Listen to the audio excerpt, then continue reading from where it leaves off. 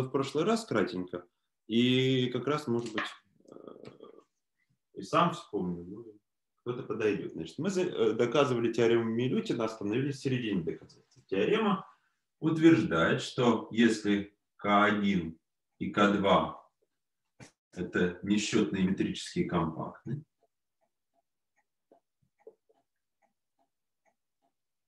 то C от К1 изоморфно C от К2. То есть как Банахово пространство, то есть существует линейный непрерывный гомеоморфизм между ними. И как мы это доказывали? Значит, такая схема доказательства была, э, ну, как бы следовала Леви Пелчинского, которая говорит, что если x дополняемо y, y дополняемо x, а также x изоморфно c0 от x, то отсюда следует, что x изоморфно y. Значит, это лемма Пилчинского. Ну вот там их было две, ну это вторая.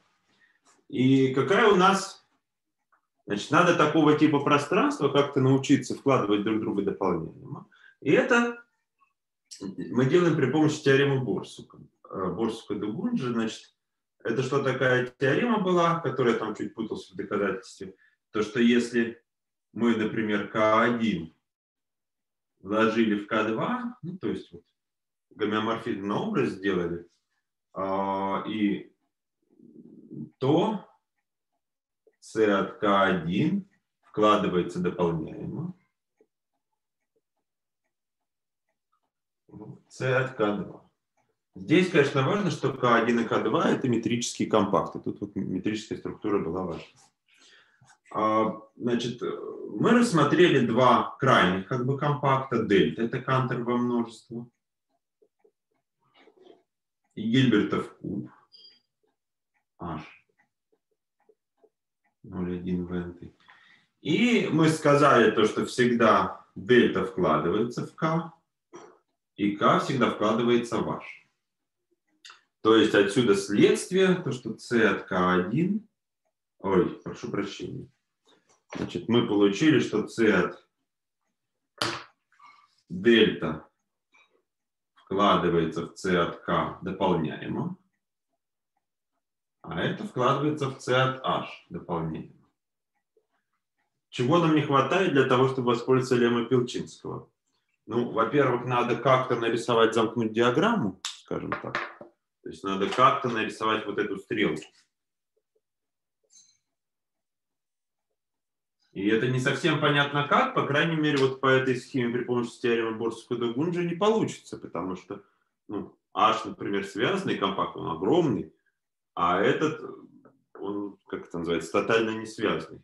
Там надо быть осторожным, потому что есть экстремально не связанный, есть тотально не связанный. Это тотально не связанный. То есть у него... Ладно, давайте от греха я не, не буду говорить, потому что я эти понятия всегда путаю. А, ну, короче говоря, видно, что он не связан, просто не связан, поэтому туда аж как-то не вложишь. А, ну, точнее, да, любое его, видимо,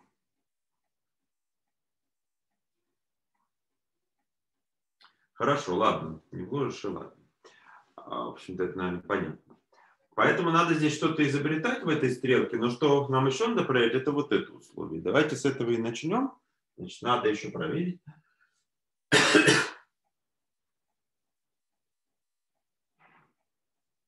Нужно проверить то, что c а, дельта э, изоморфен c0 от c дельта. И вот с этого мы и начнем. Это у меня это называется четвертым пунктом. Значит, вот э, я напомнил, что было.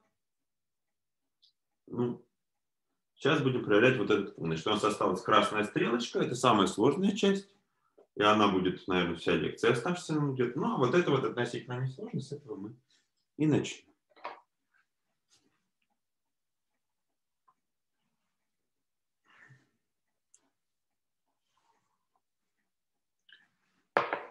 Хорошо. Э, значит, 4. Проверка условий Пилчинского.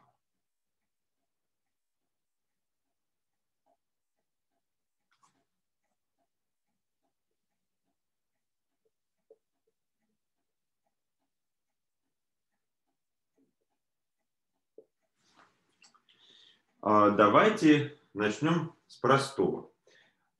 Напомню, у нас было упражнение, что c0 вкладывается в дополняемо в c от дельта, потому что дельта это метрический несчетный компакт. Надо просто, чтобы он бесконечный. Дополнение. А, тогда я утверждаю следующее. Утверждение. c от дельта изоморфно своим гиперплоскостям. А, гиперплоскостям. А, значит, что ясно, значит, давайте перед доказательством утверждения дадим еще одно упражнение. Действительно упражнение, вот если x банахового пространства, а, давайте я даже так сформулирую более литературно, я скажу, что в банаховом пространстве любые две плоскости изом... Э, любые две гиперплоскости изоморфны.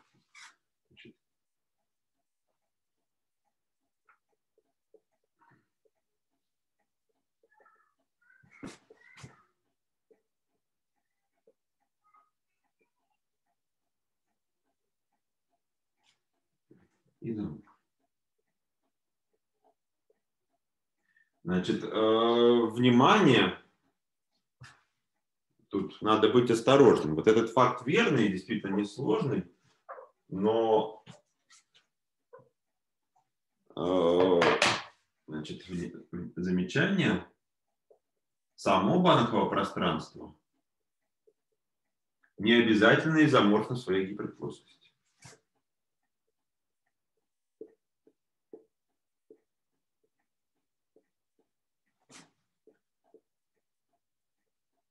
То есть, значит, ну, понятно, что гиперплоскость вкладывается в банковое пространство дополняемо, но вот обратно в само банковое пространство запихнуть гиперплоскость дополняемым образом не всегда можно.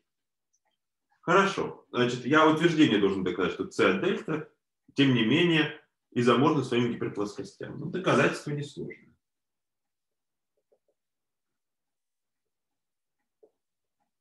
Доказательство утверждения. Мы помним, что c0 там дополняемо, поэтому можно написать, что c от дельта изоморфно c0 плюс некоторое банковое пространство E. Ну, то есть фактор c от дельта по вот образу c0 предложения. Ну что, c0, очевидно, изоморфно c0 плюс r. Да? Это r плюс c0 плюс e. Да? Потому что из c0 точно можно первую первую координату положить нулем, это это уже будет ценой. Ну и все. А это опять изоморфно c от.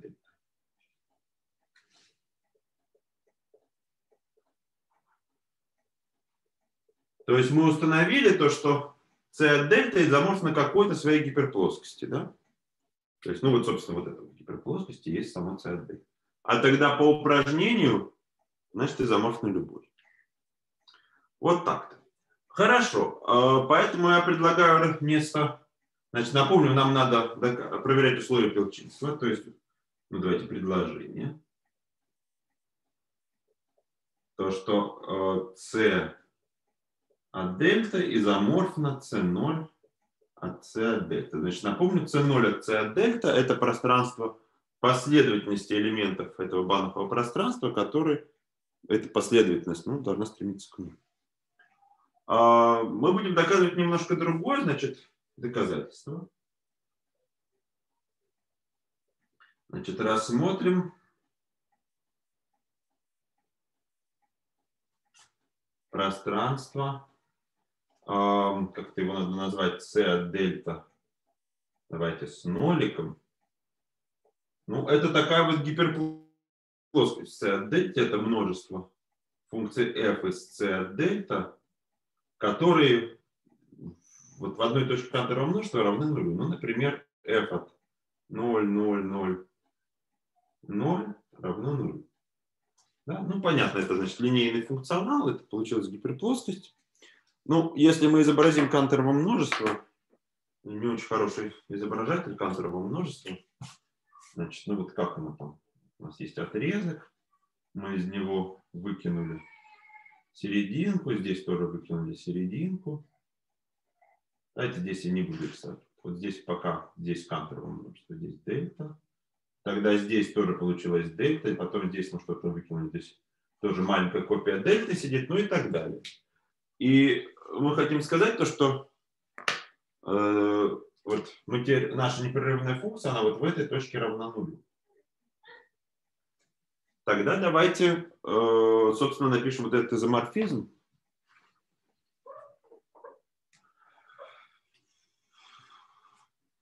Значит, э, да, значит, согласно утверждению, можно, можно работать вот с этим пространством. Значит, я вот здесь напишу, здесь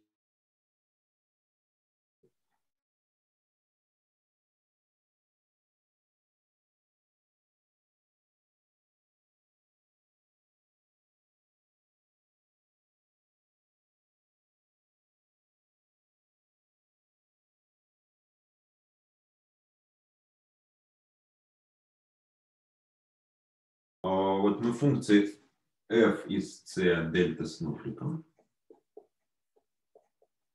сопоставим такую, значит, нам надо сопоставить последовательность фу, фу, функций на канторовом множестве, которое стремится к нулю. Значит, давайте мы вот эти э, кусочки канторового множества, которые в самом левом отрезке это будет дельта 1, следующий дельта 2, который в этом отрезке, потом дельта 3 и так далее. Ну, наверное, формулу писать не надо. Я думаю, что понятно здесь что имеется в виду, и мы составим вот такую последовательность. f суженное на дельта 1, f суженное на дельта 2 и так далее.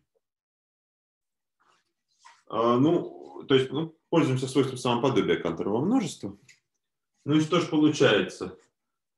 Ну, тогда условие то, что f в нулевой точке равно нулю, как раз и равносильно тому, что эта последовательность стремится к нулю, и больше ничему, потому что последовательность множества только одна точка сгущения. В общем-то, мне кажется, здесь трудно что-то объяснять. Это действительно изометрия между этими пространствами. То есть, что надо проверить, что норма такая же, но действительно вот супремум норма, что супремум f это супремум f на каждом кусочке.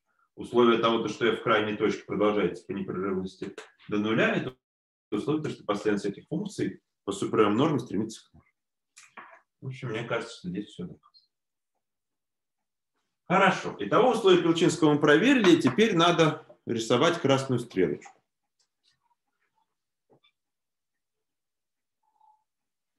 Давайте попробуем сначала объяснить, почему это непросто.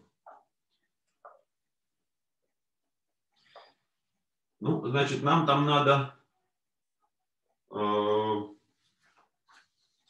вложить, значит, напомнить, что красная стрелочка – значит, это 5. Пункт назовем наивное вложение.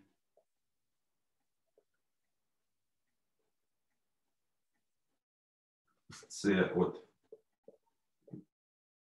0,1 в CD. Значит, а, напомню, что красная стрелочка это немножко другое. Красная стрелочка это C от Гильбертова куба вложить дополняемо в c дельта венты. А, ну, потому что дельта вента это то же самое, что дельта, это гомеоморфные компакты, да?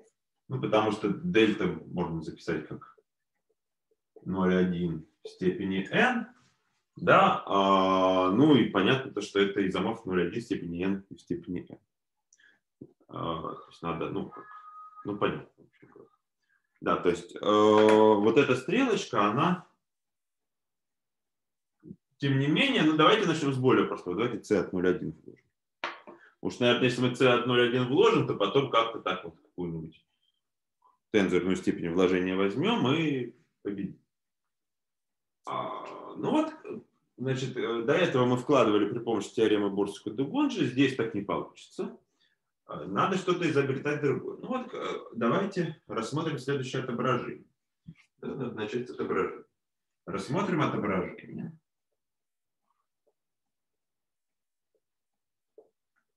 фи, который отображает канторово множество. Вот отрезок 0,1. А, по правилу, значит, фи от s. Ну, в общем-то, тут легко догадаться.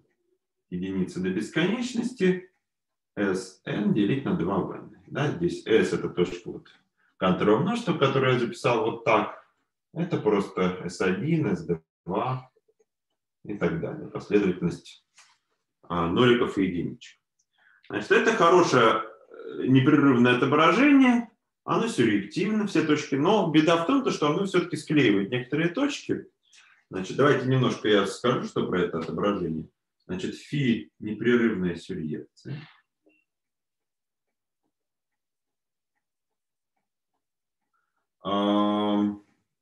Значит, имеет, надо как-то изучить обратное отображение, значит, зададим, значит, фи минус первый зададим как просто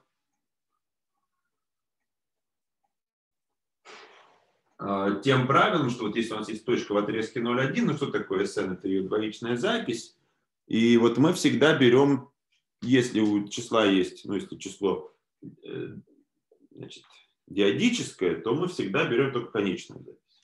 Зададим тем правилам,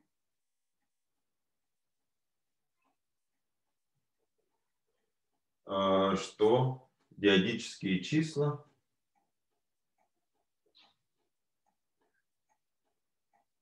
Ну, то есть это числа вида k делить на 2v, да, где k натуральные числа вида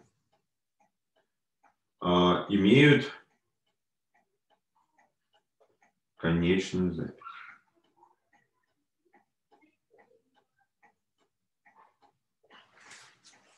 Да? А, может быть, кроме числа единиц. Вот единица пусть записывается бесконечно.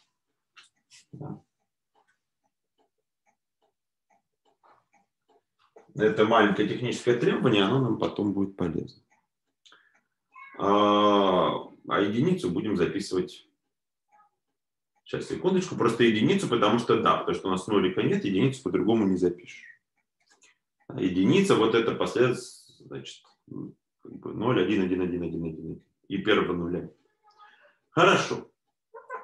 А, значит, ну, понятно, то, что оно фи в минус первый, оно Значит, фи, да, фи минус первый непрерывно в э, точках вот не диадических. Сейчас, секундочку. Да, хорошо. Значит, э, ну и как мы будем, попробуем вот вложить хотя бы, ладно, про дополняемое пока непонятно, как c от 0,1 вложить c от дельта, но это просто. Значит, э,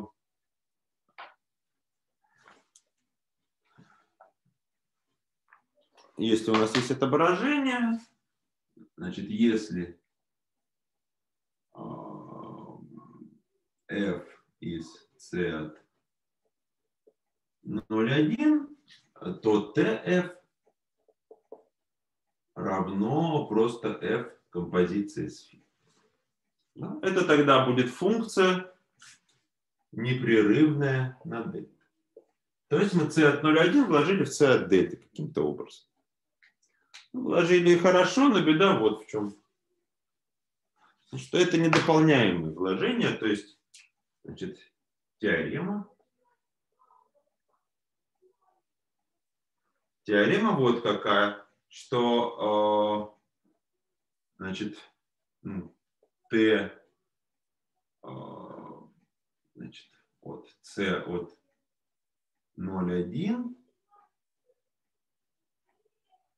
недополняемо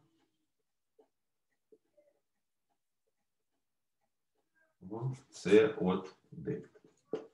Да, ну, кстати говоря, почему это вложение? Надо еще объяснить, что это не просто линейный оператор, а вложение. Ну, потому что фи – это сюръекция, да, поэтому, то есть, если две функции, э, значит, если две, есть какая-то функция совпадают на вот, вот такие штуки совпадают на канторовом множестве, значит, тогда они на отрезке 0,1 совпадают.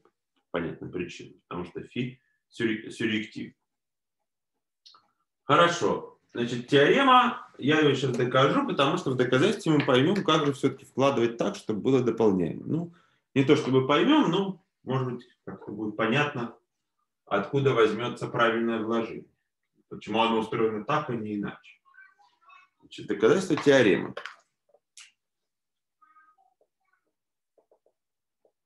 Так,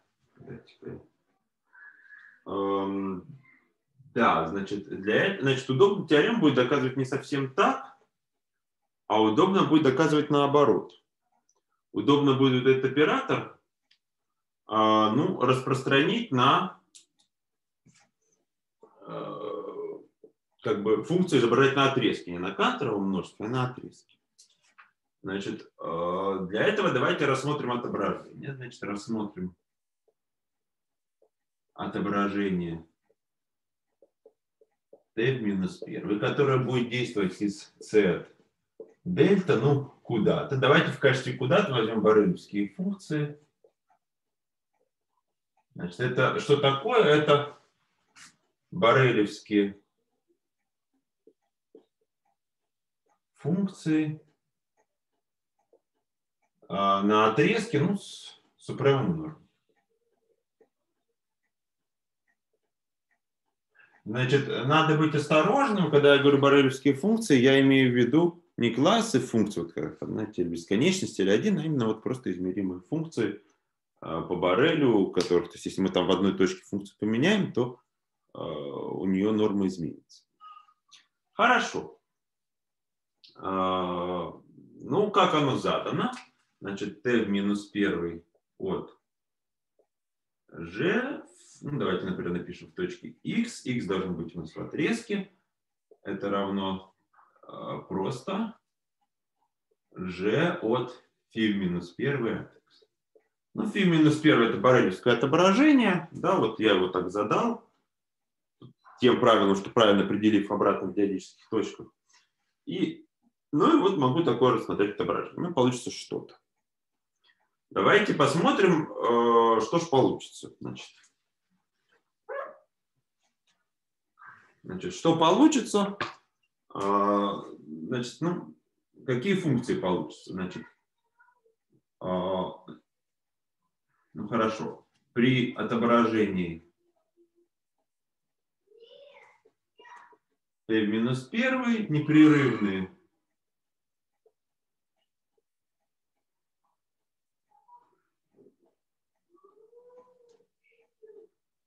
значит, переходят в следующий класс. Ну вот, такие. Значит, во-первых, они, ну вот отображение фи, фи минус первое, оно э, непрерывно вне диадических точек. То есть они непрерывны вне диадических, вне множества диадических точек.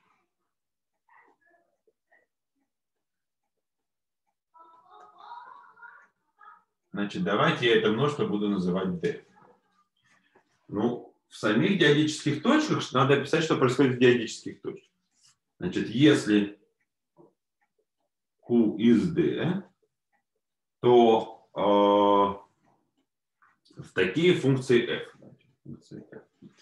то f непрерывно справа,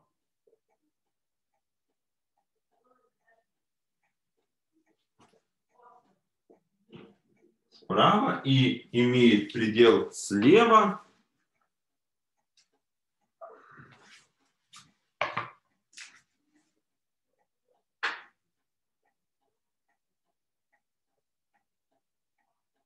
в точке. Но это вот потому, что мы так выбирали обратное отображение, что оно не любит единицы и любит нули. То есть у нас бесконечно, значит, если мы возьмем канторовское множество, то вот эту точку, вот у нас значит, канторовское множество, я выкинул первый отрезок, что происходит в этой точке? А, ну вот она, у нее справа предел есть, а то есть она, она считывает значение вот с этой точки, а не вот с Значит, еще раз. Давайте, вот канторовское множество, мы этот отрезок затянули в ноль. То есть вот эти две точки, давайте красные и зеленые. Вот эта красная точка а вот это зеленые. Они отображением фи склеились. И вот это вот отображение фи. Они попали обе в серединку, в черненькую точку, но при отображении фи в минус первый мы считаем значение в красной точке. Поэтому у нас непрерывность справа, а слева только предел. То есть у нас как здесь красненькая половинка. А, и значение мы считаем в красной точке. Отображением фи минус первый, поэтому у нас есть непрерывность справа, а слева только предел. В общем, наверное, понятно.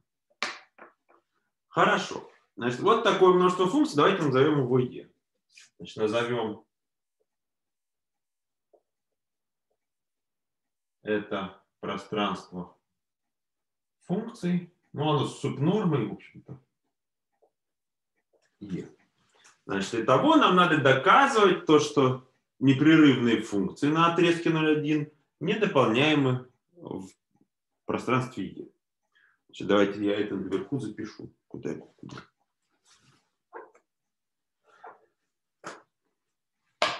Значит, будем доказывать,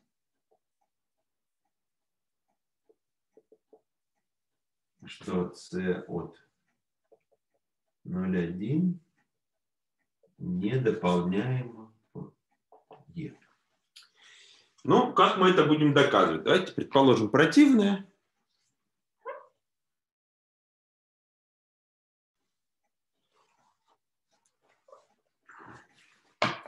предположим противное.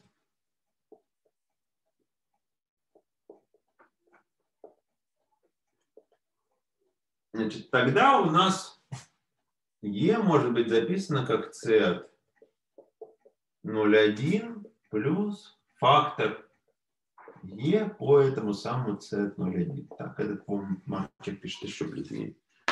Тут нет хорошего. Это плохой. Получше. А, и что тогда можно сказать? Можно сказать то, что давайте вот этот фактор сейчас опишем сначала. А, но важно то, что есть отображение из факторов Е. Значит, тогда существует отображение, ну, естественно, линейное непрерывное S из E под C от 0,1 в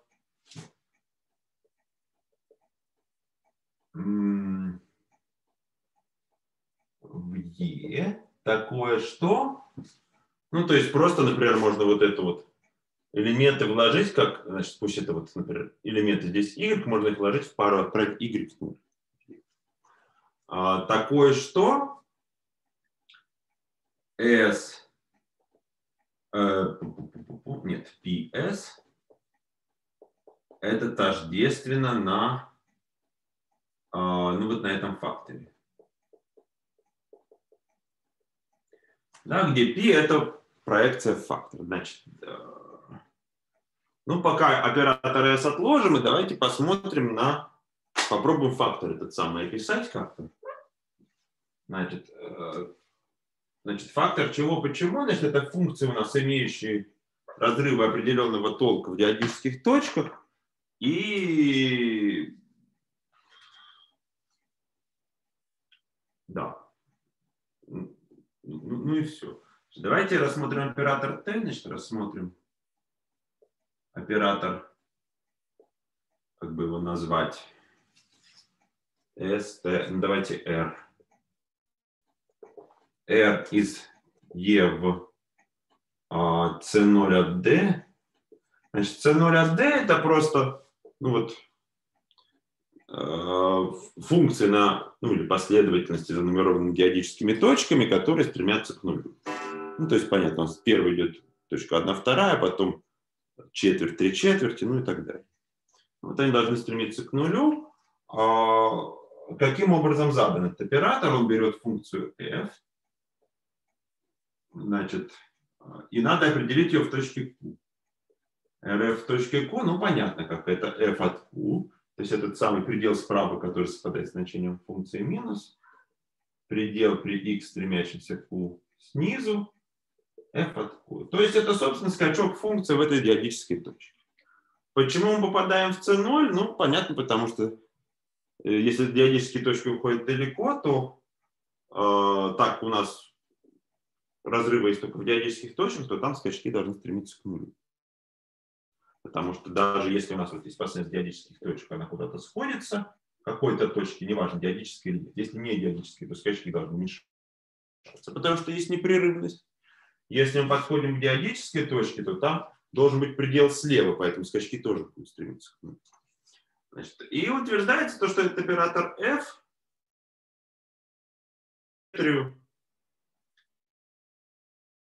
между э, значит, э, короче говоря, я хочу сказать то, что у нас c0 от d симметрично тому самому факту. Значит, напомню, норма факторе вводится как инфимум э, значит, нормы в соответствующем классе эквивалентности, ну вот и видно то, что там ровно скачок и будет. Меньше, чем скачок никак, а с другой стороны, ну и больше тоже никак. Значит, э, поэтому зря я здесь эту крокодябру писал, надо везде писать c0 от d. Значит, для того, что у нас есть? У нас есть некоторый оператор s, а, и здесь проекцию, ну, r, то же самое, что проекция, можно здесь написать r. Значит, того у нас есть оператор, который к некоторому набору скачков сопоставляет как бы, ну, оператор поднятия, а, который ему сопоставляет некоторую функцию из e, которая имеет ровно такие же скачки. Это операция линейная и непрерывная. Да? Вот такая вот, вот это следствие дополняемости. Если дополняем, то есть это оператор поднятия. Хорошо. Давайте теперь приходить к противоречию. Как это будет сделано? А, ну вот, сейчас скажу. Надо, наверное, что-то стереть. Нет, пока не будем стирать. Ну, идея вот в чем-то, что у нас есть... Давайте возьмем точку 1, 2. У нас есть наш отрезок, точка 1, 2. И посмотрим на, ну вот в этом пространстве 0 от d есть базисные векторы, то есть просто последовательность, которая скачок в 1, 2 равна единице, а больше скачков нет. Ну вот, значит, есть некоторая функция, а, значит, образ при операторе r. То есть это функция, у которой здесь скачок 1, 2, а больше скачков нет. А, сейчас, секундочку. Ну да. Тогда что можно про нее сказать? То, что она либо справа, либо слева от точки 1 вторая, у нее значение хотя бы 1 вторая. Потом мы к ней прибавим еще скачочек. Ну, и будет слишком большая норма. Давайте я сейчас запишу формулу. Значит, мы построим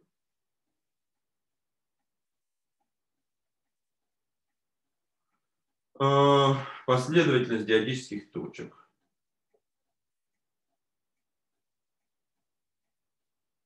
Давайте их назовем а, наверное, удобно их назвать QNT. Ну, от, n, от единицы до n большого. А, чисел, ну, точнее, знак давайте. Знаков эпсилон nt по n от единицы до n большого. А, таких что? r от сумма по n равно единице до n большого эпсилон n e qn в некоторой точке x по модулю больше, чем, например, n. Значит, кто такой EQN? Это вот эти самые последовательности в c0 от d. Давайте я запишу. Сверху придется наверх перескочить.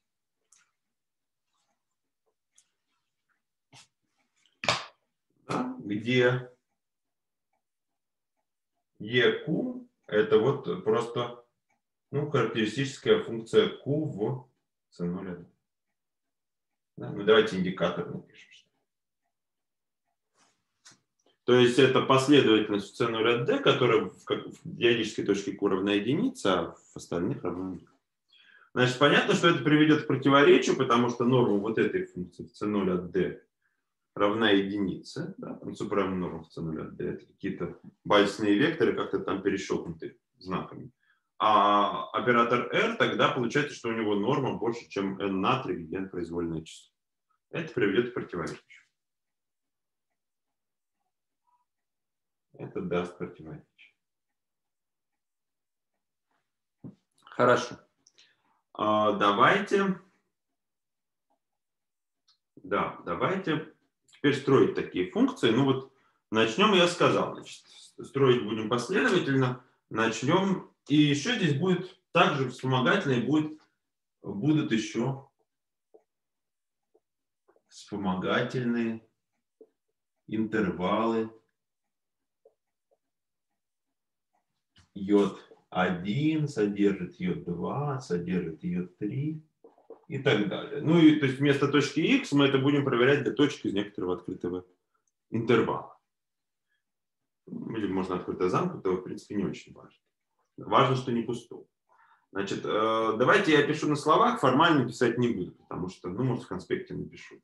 А, по-моему, это не, не очень надо. Вот давайте посмотрим вектор E значит, базы, начало. База или первый шаг, наверное, лучше.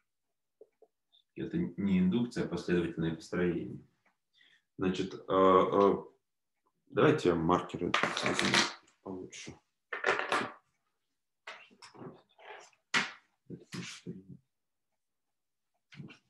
Значит, первый шаг. Это плохой маркер.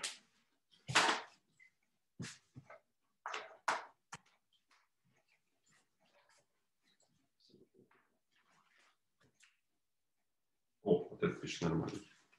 А, давайте э, рассмотрим R от E1 вторая. Ну, это некоторая функция, и у нее скачок, а, то есть смотрите, либо вот, вот этот скачок у нее по модулю, значит, давайте напишем R E1 вторая от 1 второй минус предел при x, стремящемся к 1 второй с минусом, r, e 1 вторая от 1 второй, э, от x по модулю. Нет, надо новый маркер взять.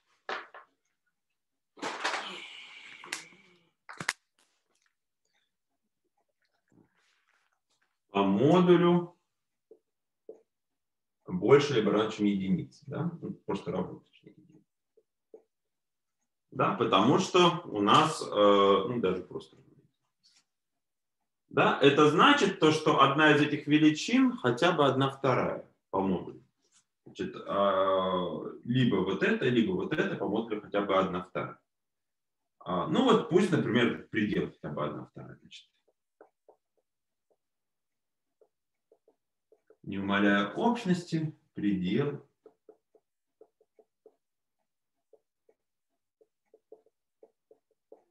по модулю больше либо равен 1 второй. Вот, ну, э, что тогда? Тогда давайте мы возьмем эпсилон 1 таким, чтобы это стало положительным. Значит, эм, Значит, положим эпсилон 1, например, знаком вот этого выражения. И отрезок J от 1 будет от э, 1 второй до 1 второй плюс эпсилон, так, чтобы так, чтобы R e1 вторая от y по модулю было больше 1 третьей, если y из ее 1. Да? Ну так там есть. Ой, ой, ой, ой, неправильно. 1 вторая минус эпсилон и 1 вторая.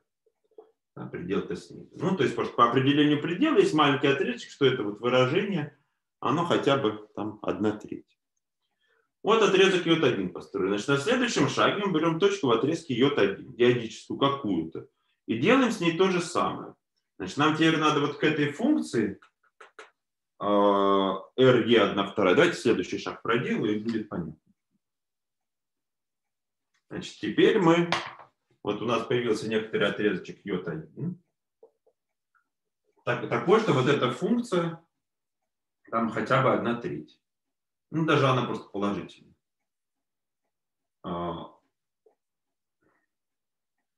Значит, эпсилон 1 RE 1 вторая от Y больше, чем 1 треть, если Y из J1. Берем там какую-то новую диодическую точку Q2. А, и в ней тоже смотрим либо REQ2 точки Q2 больше, чем 1 вторая, либо больше, либо вот предел. Но в зависимости от того, кто из них больше, ну пусть, например, вот это больше. Тогда мы строим маленький отрезочек, он будет зелененький. А, я картинку нарисую побольше. А, вот у меня есть одна вторая, вот отрезок. И вот я в нем взял точку Q2. И, например, от нее отступаю вправо. Значит, наши функции непрерывны справа, поэтому здесь нарисуется некоторый отрезочек J2, такой, что R, E, Q2 от Y в этом отрезке больше, чем 1 треть. Я выбираю знак так, чтобы оно было положительным, и замечаю, что сумма тогда будет больше, чем 2 трети. Ну и так далее. Дальше потом беру какую-то точку в отрезке J2 и тоже правильным образом подбираю знак. Вот. Ну, поэтому вот такая система э, векторов и знаков построена. Ну и стало быть, вот это вот утверждение доказано, и оператор R разрывен. Ну, значит, пришли к противоречию Хорошо, но это, вообще говоря, отрицательный результат. Нам надо было как-то вложить одно пространство в другое дополняемым образом. А мы поняли то, что вот наивно не получается. Ну и, с другой стороны, из этого доказательства видно, что надо что-то делать с этими вот скачками. То есть если мы э, как бы функции на кантовом множестве, вот кантовое множество, оно такое не связанное, и надо как-то эти скачки убрать, загладить. Ну вот, Милютин догадался, как это сделать. Давайте я тогда все сотру потихонечку. Вверх тоже сотру. Так, это пока. Значит, следующий раздел, собственно, называется Лема Милютина. Это как бы такое сердце доказательства Лема Милютина.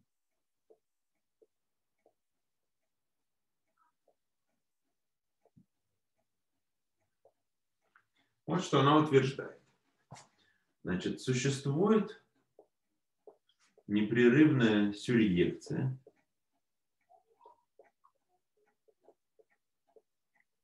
ро, которая действует из квадрата канторовского множества в отрезок 0,1.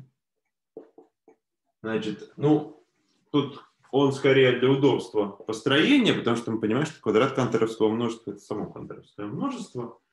И линейный непрерывный оператор усреднения, как бы его назвать. У меня в конспекте назван P. Ну, давайте P назовем. P из C от дельта на дельта. C от 0,1. Ну вот э, тождественный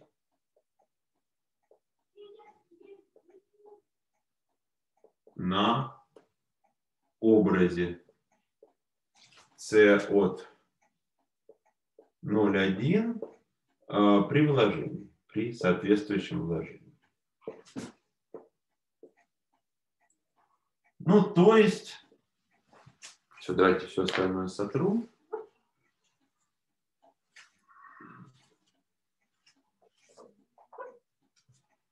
То есть, А, значит, то есть а, P от Э f композиция sro. Значит, э f композиция sro – это функция на c дельта на дельта, это равно f. Для любой f из а, c от 0,1. Да? То есть вот мы отправляем c от 0,1 в c от дельта от дельта вот таким образом, как f композиция sro а потом что-то такое происходит, что разрывы заглаживает, так что все пространство c от дельта на дельта попадает в c от 0,1. Давайте доказывать лемму.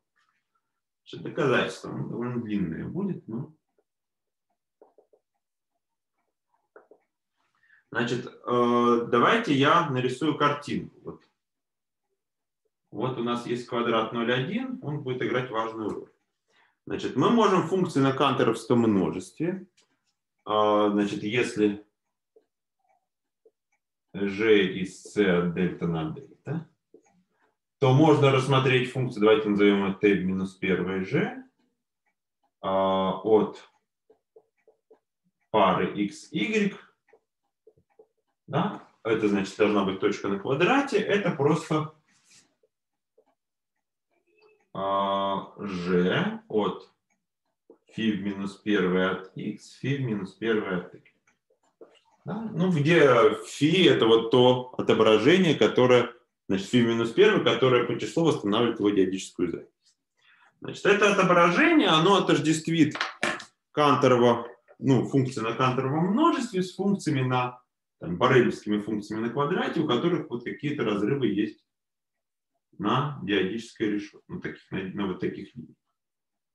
То есть она так в точках, которые на эти прямые не попадают, она непрерывна, а вот на, на прямых у нее какие-то разрывы там, первого рода. Значит, нам надо как-то теперь сочинить э, гомеоморфизм ро. Ну, давайте я его напишу. Значит, ро от той последовательности st это модуль просто сумма по n равно единице до бесконечности, svn делить на 2vn и минус, чуть-чуть вычурно напишу, сумма по m равно единице до бесконечности, tmt делить на 2v. Значит, что это такое?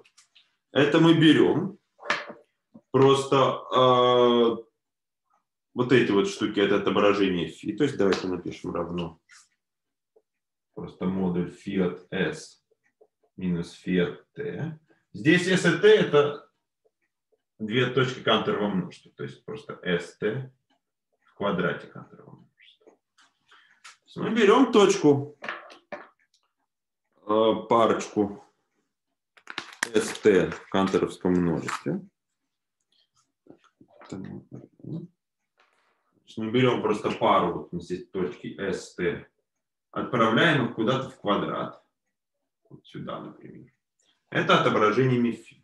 После чего берем и вычисляем модуль их разности. То есть это, ну, да, модуль разности. Ну, давайте я вот начерчу разность их. Это такая прямая. То есть э, на этой прямой лежат точки с постоянными разностями. То есть, иными словами, ρ это вот отображение фи на фи и композиция с отображением модуль разности, например, x минус y. Давайте красивее напишу. Да?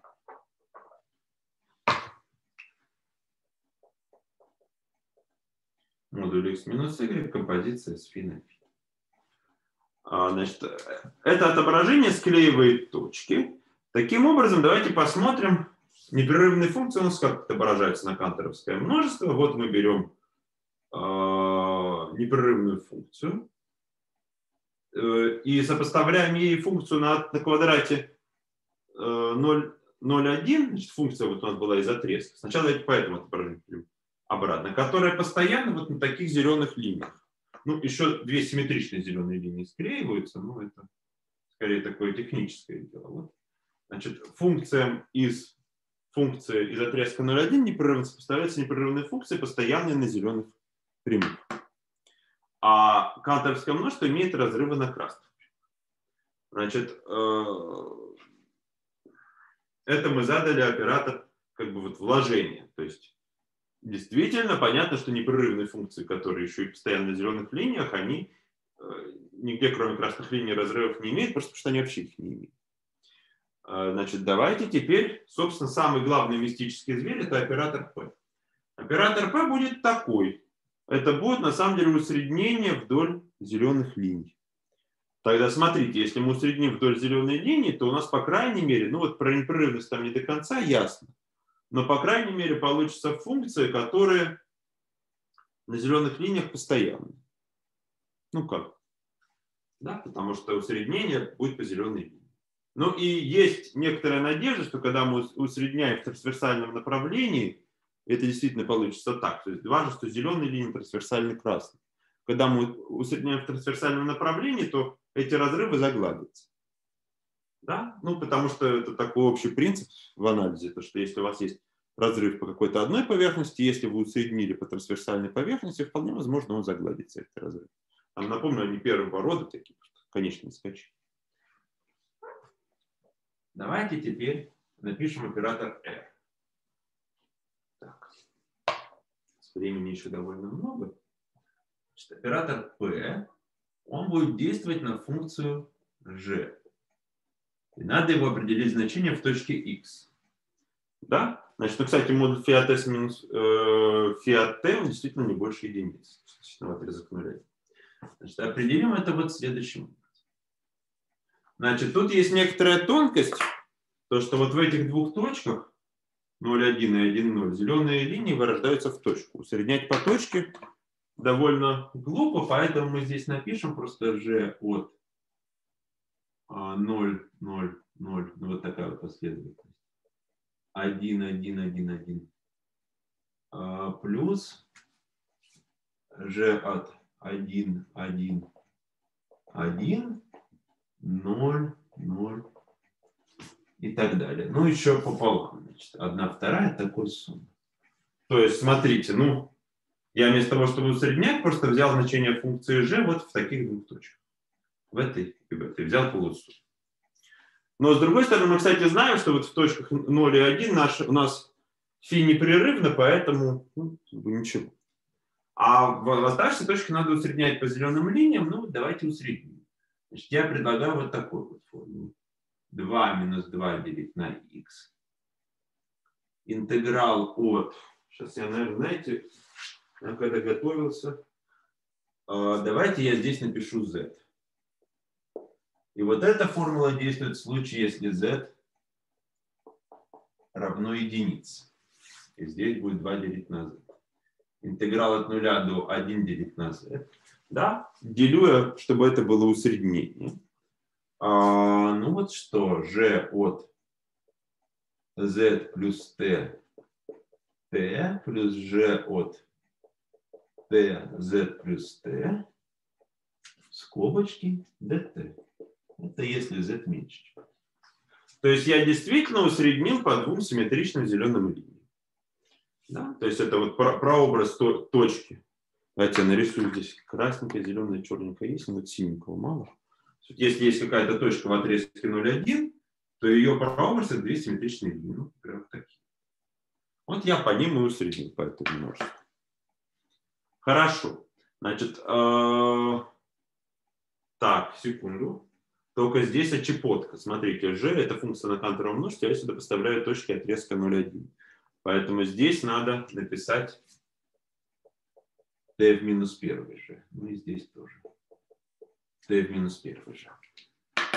Да, значит, t в минус 1, напомню, это отображение, которое функция на канторовом множестве вот этой формулы пересаживала на функции э, на квадрате. Интегрируем мы по квадрату, поэтому здесь надо писать t в минус 1. Значит, э, я объяснял, почему. Значит, надо что проверить? Надо проверить две вещи. Надо проверить вот эту формулу, ну и, собственно, непрерывность оператора P, что он будет отправлять а, ну вот, непрерывные функции на канторовском множестве будет отправлять в а, непрерывные функции на отрезке 0,1. Я хочу сказать, что вот эта формула очевидна. Ну почему? Это немножко надо так напрячься, но Смотрите, что такое F композиция с ро. F композиция с ро это... Сейчас, секундочку.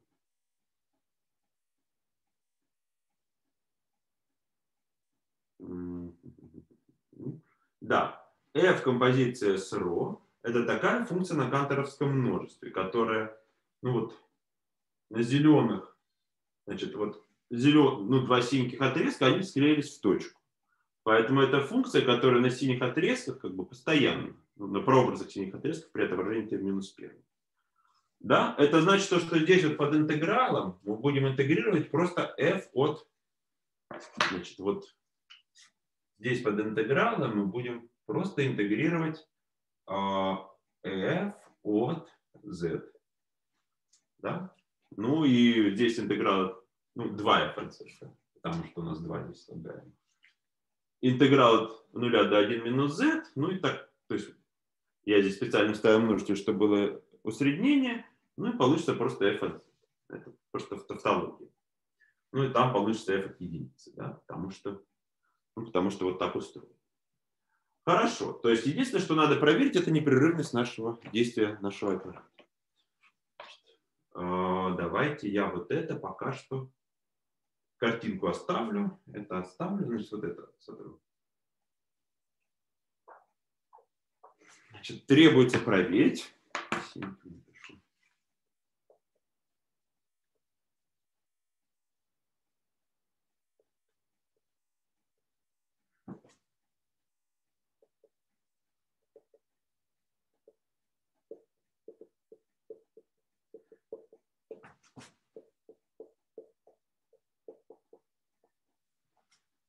Хорошо. Значит, э, кстати говоря, прежде чем проверять непрерывность, надо немножко подумать о том вообще, почему интеграл определен.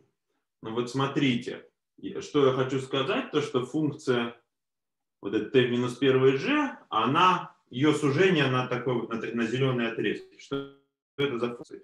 Но у них тоже есть разрывы не более чем в счетном множестве точек, потому что они красные прямые пересекают ну, не более, красных круг вообще, потому что счетное число. Да, поэтому у нее разрывы не более чем в счетном множестве точек. Они пересекаются трансверсально, поэтому эти функции, они даже по Риману хорошо интегрируемы, это просто всюду определено. То есть, э, ну вот, поэтому, по крайней мере, эти формулы корректны, надо лишь проверить, что получится. То есть у нас здесь получится какая-то функция даже, ну, можно доказать, что она будет борелевская, она, значит, ограничена, надо проверить просто, что получится именно непрерывная функция, а не что-нибудь там с разрывом. Значит, а, это проверять можно на цилиндрических функциях. Вот смотрите, у нас есть c от дельта на дельта. А, значит, достаточно проверить.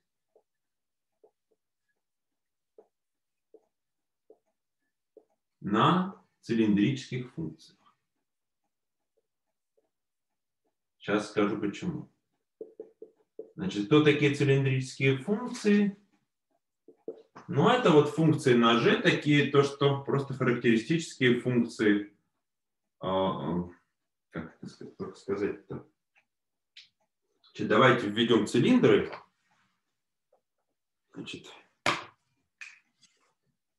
C от И1, И2, ИН, J1, J2, Jm – это множество тех пар X, Y, давайте ST, из канторовского множества, таких, что э, S и K равно, ой, точнее, SK равно и K, TL равно JL, ну, когда K от единицы до кого там, до N, а L от единицы до N. Да, ну вот просто цилиндрические множества, и я утверждаю, что, значит, во-первых, Кантера множество так устроено, что это непрерывные функции. Так, прошу прощения, да, часы. Что это непрерывные функции, и их линейные комбинации плотны вот в этом пространстве. Ну, например, по теореме Стоуна Вейерштрассе. Линейные комбинации – это алгебра функций, и они, понятно, что разделяют точку. Любые две точки можно разделить цилиндрами. Ну, понятно. То есть достаточно проверять непрерывность на таких цилиндрических функциях. Значит, чему, куда переводит цилиндрический, это цилиндр, ну вот характеристическую функцию выберет. Куда переходит цилиндр при вот этим отображении? Я утверждаю, что давайте вот эту сетку пока оставлю, эта картинка полезная, что цилиндр при таком отображении переходит в характеристическую функцию прямоугольника. Да? Ну, надо просто взять, а, значит, при отображении t в минус 1 характеристическая функция цилиндра переходит в характеристическую функцию прямоугольника, например, АБ на CD, где А, Б, С и Д диадические некоторые, где А, Б, С, Д диадические числа, ну или там 0 и единицы. Или 0 и единицы. 0 и единицы, значит, напомню, мы диадическими не считали. Хорошо, значит, надо вот проверять, что оператор вот этого усреднения по таким линиям приведет такую функцию в непрерыв. Значит, надо рассмотреть два случая.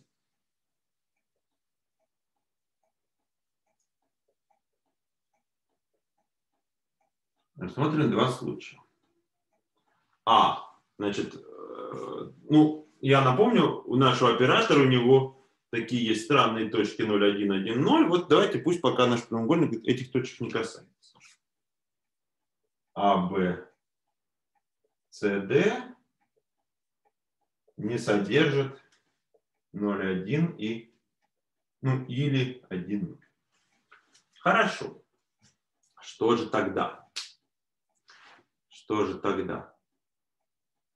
Что же тогда? Ну, давайте я тогда не буду писать формулу, как это интегрировать. Мне кажется, это где-то на практике по анализу на втором курсе делается. А, давайте вот это я сотру. Все цилиндрические функции нам не нужны. Значит, вот есть у нас прямоугольник. Значит, тогда я хочу сказать, что можно вот про этот множитель забыть. Это функция непрерывная, умножение непрерывной функции на непрерывную, непрерывную. Значит, в этом случае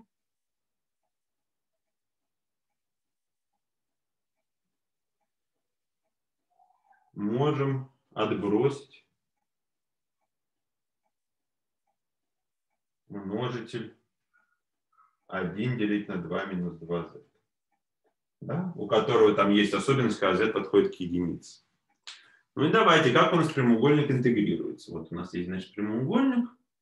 Мы его характеристическую функцию интегрируем в трансверсальном направлении. У нас идет зеленая прямая. Вот пусть она первый раз Значит, а, давайте я сейчас буду такое интегрирование геометрическое. Вот у нас идет сначала отрезок 0,1. Я, правда, наверное, должен снизу наверное, интегрировать. А, а, давайте от единицы я поеду. Мне удобнее от единицы. Вот сначала у нас зеленая прямая движется. И пока что получается здесь 0. Потом я коснулся первой точки. И э, у меня как, как, вот функция вот эта вот длина, она просто линейная. То есть у меня начало вот так подниматься линейно. Скачок, по-моему, под 45 градусов я не увидел. Потом мы пересекли этот уголок, и здесь длина теперь стала постоянной. Ну потом мы симметрично спускаемся в некоторую точку и идем к нулю. Значит, эта картинка не совсем верная, потому что у нас там был модуль, да, помните, что мы одновременно по двум прямым а, интегрируем. Ну, понятно, то, что надо теперь эту функцию вот взять у нее полусумму. Да, то есть взять э, отрезок 0,1 еще раз себя так схлопнуть, взяв полусумму по симметричным точкам. Но видно, что это непрерывная функция, просто ее даже можно формулу выписать. Доска маленькая, я не Первый случай мы рассмотрели, случай А. Теперь давайте случай Б. Значит, B. Ну, одна из точек, пусть, например, значит, не умаляя общности, АБ равно 1.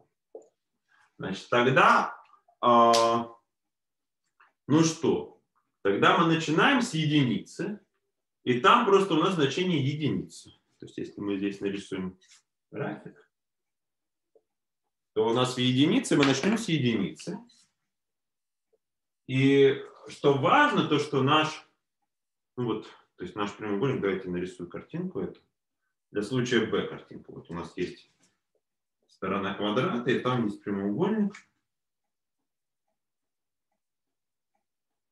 Ну вот просто у нас эти усреднения будут вначале давать единицу. Ну и все. Да, то есть у нас будет вот здесь единица. Сначала единица, ну а потом что-то. Здесь важно то, что мы там поделили, ну, и это все как бы что-то такое типа теоремы Лебега дифференцирования интеграла. Функция g, она, вот, t минус первая g, она в точках 0 и 1, да, которые не периодические, она там непрерывна. Поэтому э, эти две формулы друг к другу подклеиваются. Вот. Ну вот такое доказательство. То есть мы доказали то, что проектор P непрерывный.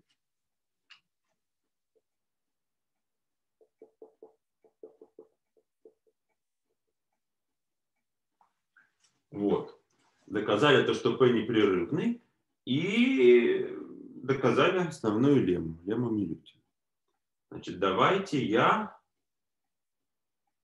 А, значит, а, оригинальное доказательство Милютина было чуть другое в этом месте. Там он интегрировал не трансверсальное направление по таким криволинейным параболам. Ну, в общем, это то же самое, более-менее все доказательства, они так или иначе вот используют такой трюк, то, что можно как бы сгладить вот эти вот э, скачки у квантового множества определенным интегрированием по множествам уровня вот этой такой непрерывной сюрреализации. Там конструкции все похожи. Так, и того мы доказали то, что, значит, давайте вывод, сухой остаток. Давайте я это все стираю.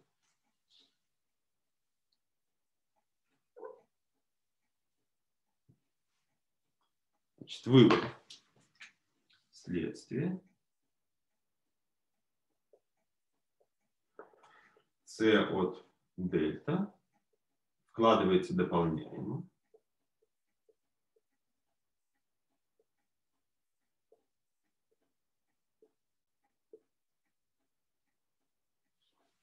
в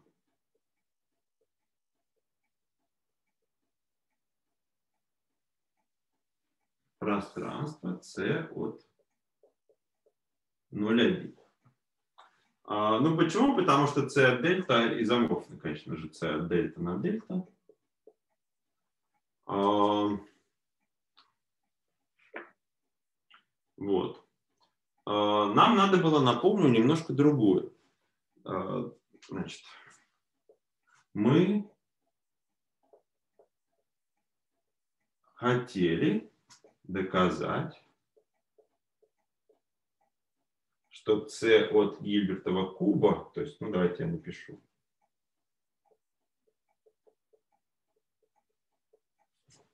вкладывается дополняемо в c от а, канторовского множества. Да, это была последняя а, ступенька. Ну вот давайте сейчас это и докажем. Пользуясь нашим оператором P, а, и, значит, замечание про оператор P, значит, замечание. А, оператор, норма оператора P равна единице. Да? Это такой оператор усреднения, да, по, поэтому норма равна единице. И, наверное, важно еще то, что P, а, да, в общем-то, пожалуй, это все, что надо. Хорошо, значит, теперь, ну какой седьмой пункт окончание доказательства. Давайте я это все стираю.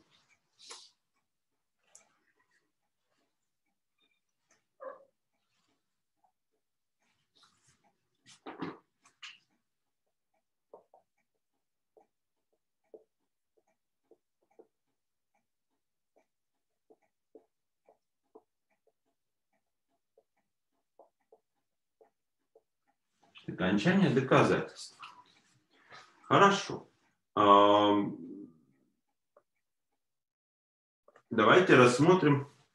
Нам надо как-то, а, ну, во-первых, достаточно вложить, достаточно а, вложить Гильберта, ну, c от Гильбертова куба дополняемо в c от дельта венной, да, так как дельта гомеоморфна дельта венной, да, Поэтому, значит, пространство непрерывных функций на них тоже э, изоморф. Значит, давайте отправим э, h, точку x из h. Да, значит, x это последовательность точек. x1, x2. Ой, нет, только не из h, а из дельта v. А, так, значит, ребята, я чуть-чуть напутал обозначение. Сейчас надо будет... Да. Давайте я не так сделаю. Давайте я сначала подведу итог. Значит, хорошо. Значит, мы, что мы знаем? Мы построили а, непрерывную сюръекцию. Как-то давайте ее назовем не так, как раньше. Давайте назовем ро тильда из дельта в 0,1. Значит, у нас раньше была сюръекция из квадрата кантового множества, но понятно, что кантовое множество изоморфно самого дельта, вот давайте назовем про тильда то, что получится как композиция. И а, линейный непрерывный оператор P из C от кого от C от 0,1 в сейчас секундочку из C от дельта, конечно же. Так как у нас по времени нормально. Из c от дельта на c от 0,1, а, значит, проектор на образ при вложении соответствующем вложении. А, ну, то есть P от G композиция ро, давайте F композиция ро равно F. Да, и проектор нормальный. Хорошо.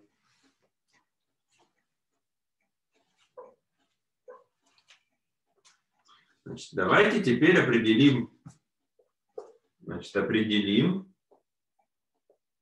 непрерывную сюръекцию.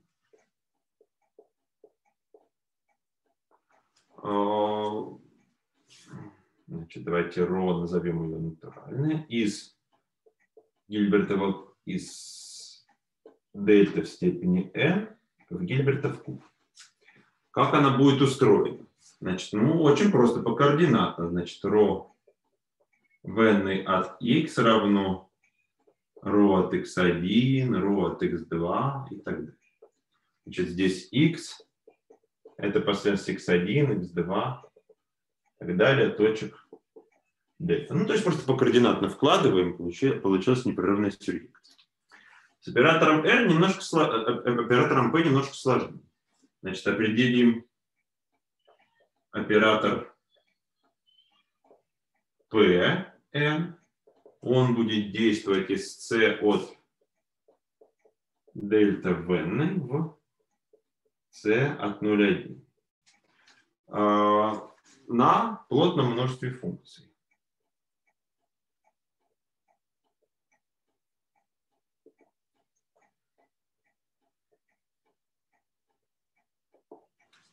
Значит, вот э, в этом пространстве функции, которые зависят лишь от конечного числа координат, образуют плотное множество. А они, в свою очередь, ну, например, по теореме Стоуна Вештрасса, а они, в свою очередь, суть лини... э, ну, замыкания линейных комбинаций функции вида f от x равно f1 от x1, f2 от x2, значит, fn от xn, где x у нас из дельта v, а из c от дельта. Да?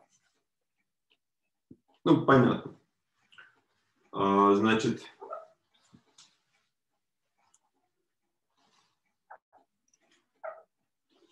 давайте тогда зададим на них наш оператор P по очень понятной формуле.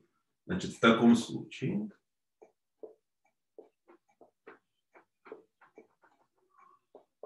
P nt от f, а, значение в точке t Ох, нехорошо, у меня иксы стали с канторового множества, а t из отрезка. Знаете, какую-нибудь точку z назовем. от z это у нас будет точки из Гильбертова куба. Значит, напомню, наш оператор должен действовать из c от дельта в n в c от Гильбертова куба.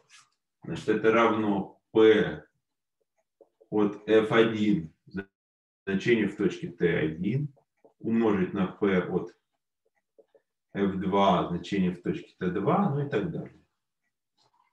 Вот, вот так вот. Ну, значит, умножить на p от квадратной скобки. Короче говоря, такая тензорная степень получается. f это значение в точке t. Вот. Видно то, что это будет линейный оператор, там по каждой координате линейный. А, и, значит, здесь только не t от z. Значит, z равно z1, z2, zn. Ну, а дальше что? Вот. Значит, этот э, оператор, он получится таким образом, задастся линейный оператор. И, да, в общем, понятно, что он линейный непрерывный, понятно, что он, ну, опять же, можно проверить вот на таких функциях, то, что pnt от g композиция с ро n равно g, если g из c от 0,1 в n, но опять же надо проверять на функциях вот такого вида. Да? А, то есть, в общем-то, здесь конструкция совершенно уже пустая, надо просто взять такую тензорную степень. Вот. И ну, важно, что на самом деле операторы P все имеют норму единиц, да, чтобы вот это произведение тоже имело норму единиц. А, значит, здесь важно, что норма P равна единице. Вот. Ну вот так. Ну что ж, теорему Милютина мы доказали. А, давайте я тогда сейчас, в общем-то, осталось две минуты, а, уйдем на перерыв. Ну а после перерыва я докажу теорему Хенкина, может быть, там не совсем полностью, там деталей больше. А, ну вот, наверное, вот так вот. Все, тогда что у нас, 10 э, минут перерыв, да? Людмила, сколько у нас перерыв? Да-да-да. 10 минут. Ну, давайте я тогда пока там видео, звук выключу. Через 10 минут. Может быть, все-таки еще раз э, вернусь к теореме Милютина. Все-таки ну, две пары доказывали. Я еще раз сейчас скажу, что происходило минут пять, потому что мне кажется, что это ну, полезно немножко какую-то рефлексию. Значит,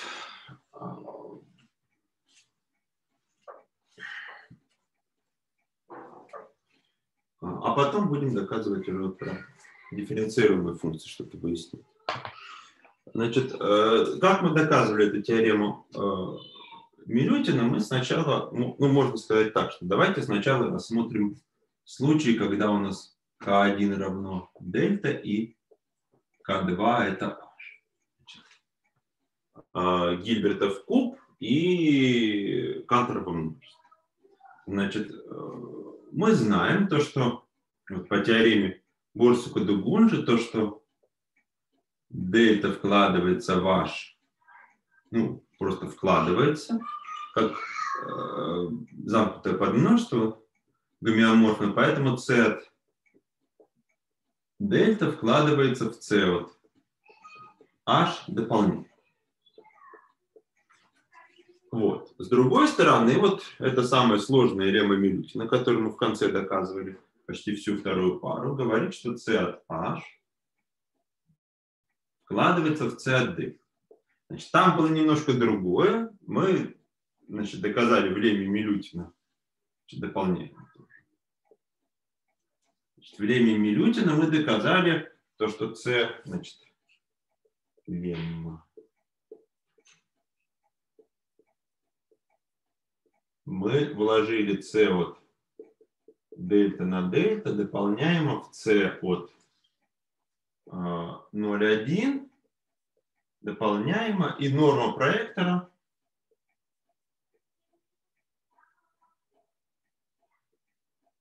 равна единице. Ну, c от дельта на дельта это то же самое, что c от дельта, да, они даже просто изометричны. Изометрия. Да, поэтому есть проектор из c от 0,1 на c от дельта норма 1. Можно его c от дельта вложить c от 0,1, так что будет проектор с нормой 1. Ну, потом, значит, вот в самом конце мы сделали трюк с тензорной степенью, который э, обеспечил вот такое вложение. Значит, кроме того, где-то там посередине мы доказали то, что c от дельта изоморфно c0 от c от дельта. Вот мы оказались вот эти три штуки. Это условия лев, второй леммы Пилчинского. Значит, вот отсюда. Второй леммы Пилчинского.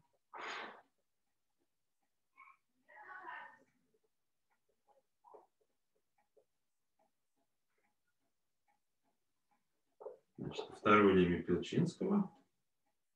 Получили, что c от дельта изоморфен c от Хорошо. Теперь что делать с произвольным компактом? Это значит, мы доказали вот этот случай теоремы. С произвольным компактом, значит, если, если К произвольный компакт, то по теореме Борсука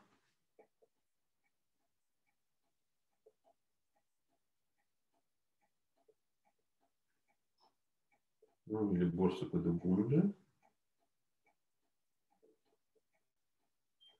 С от дельта дополняемо в С от К. А, ну, произвольно я имею в виду несчетно метрически, вкладывается в С от H. Да, ну и все это дополнение. Значит, тогда мы можем применить лемму Пилчинского просто, ну и мы знаем то, что вот здесь тоже есть эта самая сложная красная стрелочка, да? Есть так вот сложная красная стрелочка, поэтому c от k тоже вкладывается в c от дельта дополнение. Ну, значит, мы можем применить теперь вторую лемму Пилчинскую уже к c от k и c от дельта и доказать, что c от k, например, изоморфна c от дельта. Вот теорема Ньютона таким образом такая схема ее доказательства. Самое сложное это вот лемма Милютина с этим вот интегрированием в трансверсальном направлении. Хорошо. Давайте теперь э, посмотрим на другие похожие пространства. Ну вот, посмотрим, например, меня спрашивали про, например, C1 на отрезке. C1 на отрезке. Ну, что это такое? Это значит множество функций f из C1. Э, ну, ладно, это понятно. Как норма там вводится норма fc1 от 0,1. Это просто равно, ну, например, норма в c f'. Ну, давайте плюс норма, например, f c от 0,1. Давайте рассмотрим в этом пространстве. Эм, ну, давайте рассмотрим такое вот вложение. Давайте а, пум а, Ну, давайте а, его сейчас. Давайте отправим просто, рассмотрим оператор производной. Значит, из C1 от 0,1 в c 0,1, который просто f отправляет в f'. Да, это не совсем вложение, но давайте мы здесь тоже э, вот эту штуку уберем. И будем считать то, что, например, f от нуля Да, это опять же будет переход к гиперплоскости. Да? Значит, мы тогда доказали, что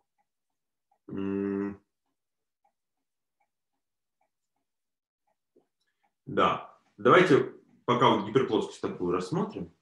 Значит, вот, этот оператор на нашем пространстве, он э, вкладывает C, C1 в C. И какие функции здесь? отождествляет просто с гиперплоскостью.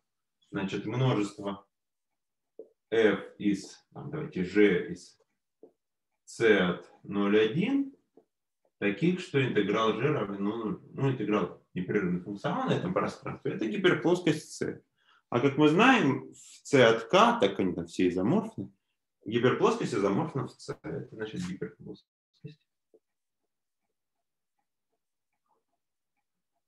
В c. А, ну, в c от вот, то есть мы поняли, а она изоморфна самому c, как мы знаем. То есть мы поняли, что вот это пространство, его гиперплоскость изоморфна k. Ну, значит, оно и само изоморфно по таким же причинам. Вот. А, то есть, когда там э, гладкость, ну, от, дифференцирование по одному направлению, ловить нечего. Тем не менее, вот верна следующая теорема Хенкина.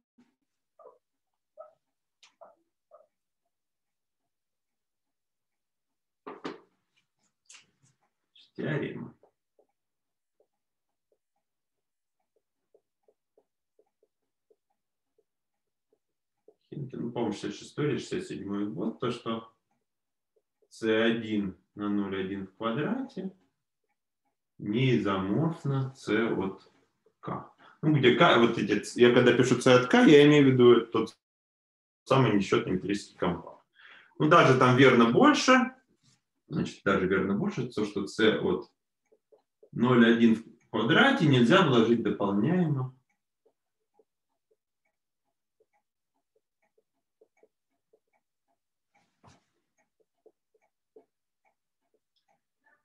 ни в какое пространство вида c от k. То есть даже когда он там несчетный, то есть, например, бесконечность это тоже пространство c от k, ну, потому что это банковая алгебра, что там компакт ткани метризуем. А, вот. Значит, он доказал это. Опять же, я, по-моему, говорил об этой истории, то, что это, возможно, умел доказывать Гартендик лет на 10 раньше, ну, то есть он дописал это как факт, или, по-моему, он сначала говорит, что они изоморфны, потом написал Эратом, там написал, что они не изоморфны. Не представил, хотя у него ну, возможности были, то есть он очень много про это понимал. А, значит, сейчас известно более-менее два доказательства, они в той или иной степени, мне кажутся, похожими. Значит, ну вот есть оригинальное доказательство Хенкина, которое я сегодня, ну, скажем так, расскажу, то есть я там буду больше подробностей опускать.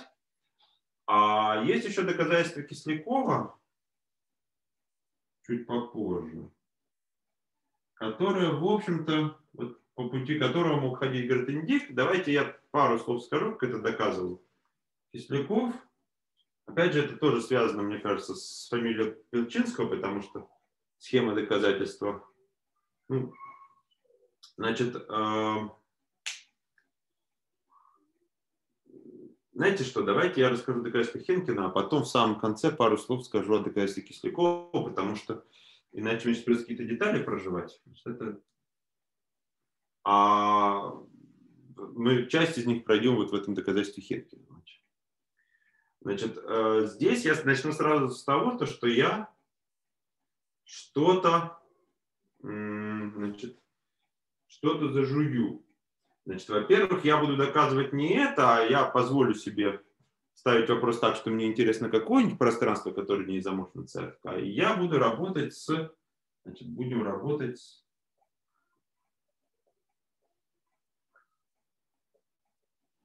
с с C1 с ноликом от S2.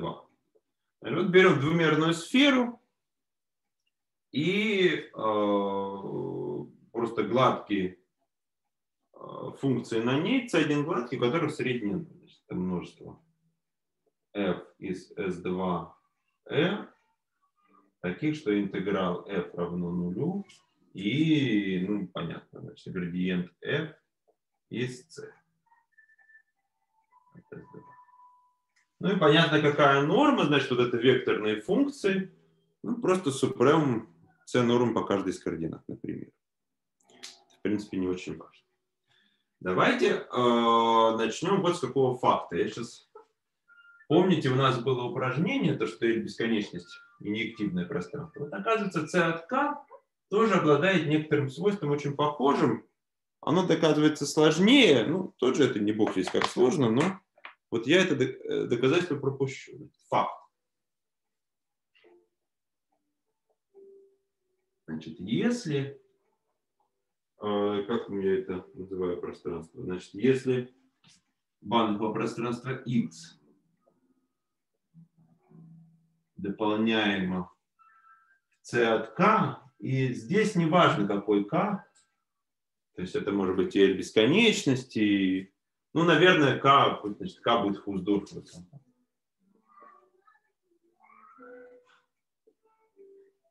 Угу. А, то есть там вторая аксиома делимости выполняется. А, значит, пусть x дополняемо в c от k, тогда, а y какое-то другое пространство. И x как-то вложено в y. То есть какой-то другой банковое пространство вложено. Вот если бы k был инъективным, да, что иногда имеет место, например, когда от k это бесконечность, да, ну, то есть когда какой-то безумный там то тогда из y есть проектор в x. Когда x это просто k, ну вот, например, c от 0,1, это неверно, но верно немножко более слабый факт, а, то существует линейный непрерывный оператор а, продолжение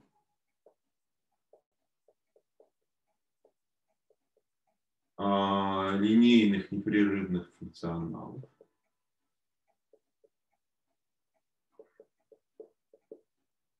а, с x на y.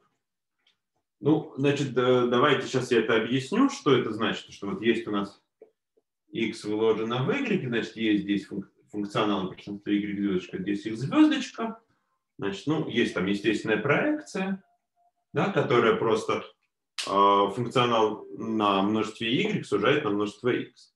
Но э, вот так. И с другой стороны, теорема Хана-Банаха говорит, что любой функционал на x можно продолжить до функционала на y. Вот это свойство, такое слабая инъективность, что ли, оно говорит то, что можно, ну или слабая дополняемость, наверное, слабая дополняемость, лучше сказать, то, что можно как бы сделать теорему Ханабанаха единую для всех функционалов. То есть можно э, сделать линейный непрерывный оператор продолжения. Да, то есть такой оператор, давайте E, э, EX, то, что X от X звездочка от там, x равно x звездочка от x для любого x из x. А вот этот самый x x звездочка это функционал на y. Вот это такое свойство пространства, пространства C от K. Ну и, как я говорил, оно доказывается примерно... Что-то я не придумал простое доказательство. В общем, там не, не, некоторые какие-то какая-то возня с тем, что называется принцип локальной рефлексивности, видимо. Ну, в общем, короче говоря, это некоторое дело, оно не космически сложное, но довольно длинное и занудное. Может, и не длинное, может, просто надо... Ну, а с другой стороны, по-моему, в книжке вот Албиации Калтона она что-то такое написано. Ну, хорошо. То есть вот это будет свойство, которым будем пользоваться без э, доказательства. То есть, значит, мы предполагаем противное, пусть C1 от 0,1 дополняемо в C от K, и тогда нам надо какое-то найти пространство Y, такое, чтобы вот это свойство не было выполнено. Ну, это довольно несложно. Давайте. Ну, не то, что несложно. То есть найти-то его несложно, а вот доказать, что такой линейной процедуры нет, не очень просто. Значит, рассмотрим. А, значит, рассмотрим.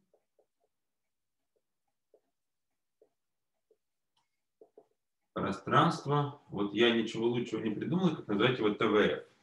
Tangent Vector Fields.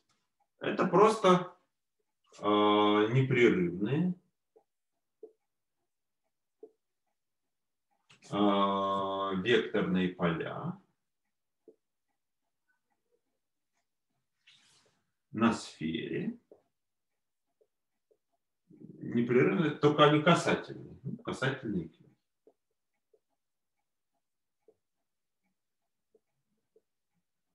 Ну, то есть это значит непрерывные э, функции со значениями в значит, непрерывные функции на сфере со значениями в R3, такое, что в каждой точке сферы, вот, сферы, вот этот вектор в R3, он касается сферы.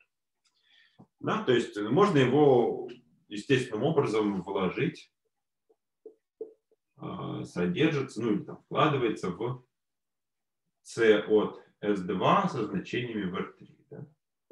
То есть, ну вот это пространство, это просто а, непрерывные функции на сфере, такие векторные, у которых три координаты. Понятно, что вкладывается. Хорошо, давайте тогда определим вот это. Вот это и будет пространство Y.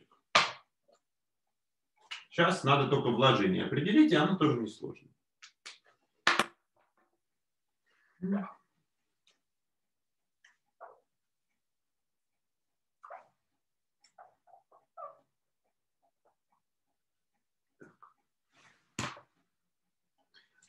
Значит, ну давайте, вот у нас есть, надо определить вложение.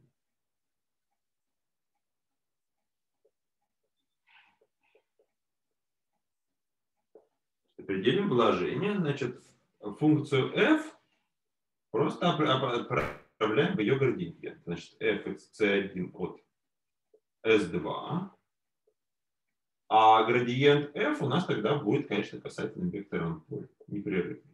Значит, здесь только давайте c0, чтобы это было именно вложение. То есть мы предполагаем, что интеграл по сфере равен 0.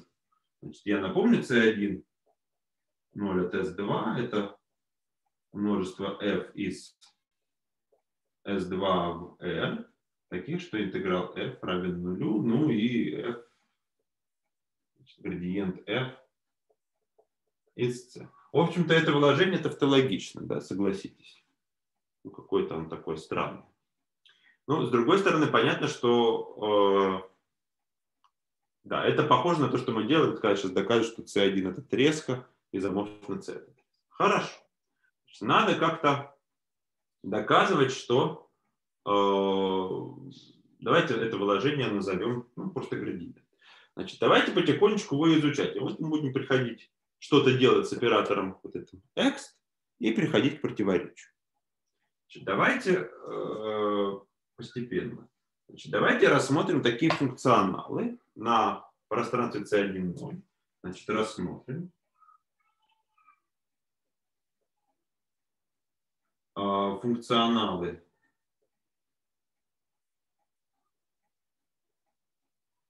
φs на c01 от s2 заданные по правилу. Просто φs от функции это функция в точке S. Да, здесь S, конечно же, точка из S. Ну, такие простенькие линейные непрерывные функционалы на C1 от 0. Значит, э, э, давайте вот что сделаем. Вот и мы посмотрим, определим, посмотрим, куда они переносятся этой процедуры продолжения. Значит, сначала я хочу сказать, что они удовлетворяют такому понятному неравенству. Вот если мы посмотрим на отображение из сферы, то есть S в фи S, то оно будет Липшицево. Да? Значит, легко видеть, что норма фи S1 минус фи S2 ну, в двойственном пространстве, то есть норма функционала меньше либо равна, чем модуль S1 минус S2. Да? Ну, где модуль, можно считать, что это геодезическое расстояние по сфере, а можно и напрямик, наверное. Ну, хорошо, можно меньше, меньше либо равно стиль. Нет, давайте, давайте так. Меньше либо равно c умножить на Хорошо.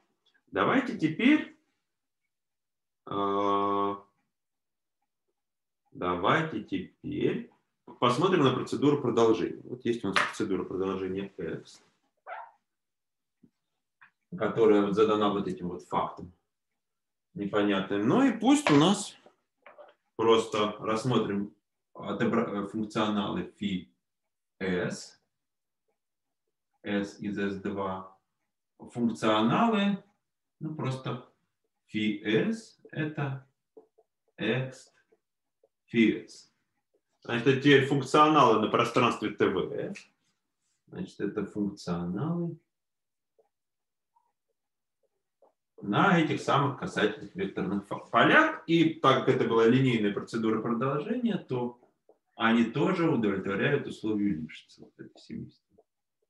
Значит, ну вот я когда пишу такую тильду, это значит там какая-то константа в тильде сидит, которая не зависит от S. Это меньше, чем модуль S1 минус S2. Хорошо. А, давайте теперь приходить к противоречию. Ну вот а, я предлагаю вот что сделать. Давайте теперь мы, у нас сфера, ну вот это семейство функционально запараметризованная сфера, я бы хотел, чтобы это семейство было инвариантно относительно вращения сферы. Для этого мне надо усреднить по всем вращениям сферы.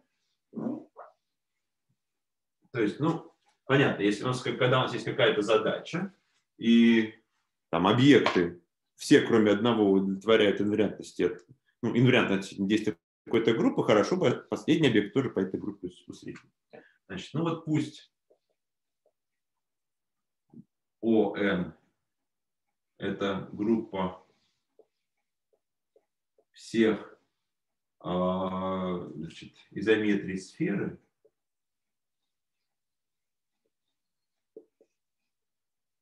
S2. Значит, а, ну, это компактная группа, на ней есть мера Хара. Значит, ну, пусть левая. Значит, мера Хара. Давайте возьмем и усредним. Определим семейство пси S от G равно. Значит, э, надо Сейчас тут аккуратно, в правильном порядке. Значит, интеграл по группе О. Не ОН, а давайте просто О. Это интеграл по О. Фи от тета в минус первый S. G от тета точечка. D мю от тета. Вот. Значит, я взял мои функционалы а, повращал. Значит, надо объяснить, почему, что это вообще такое.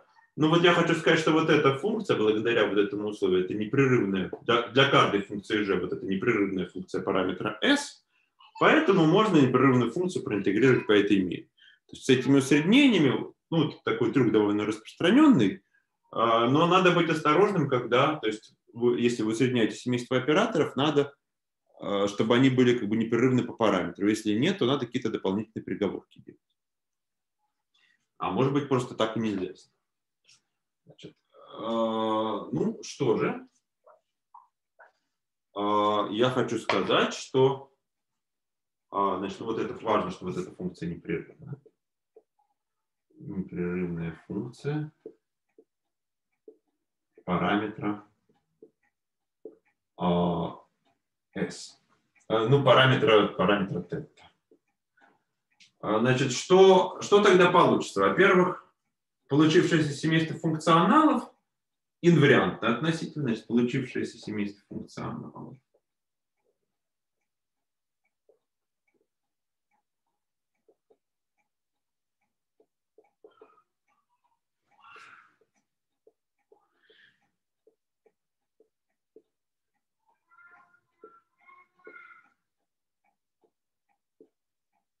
инвариантно относительно вращений.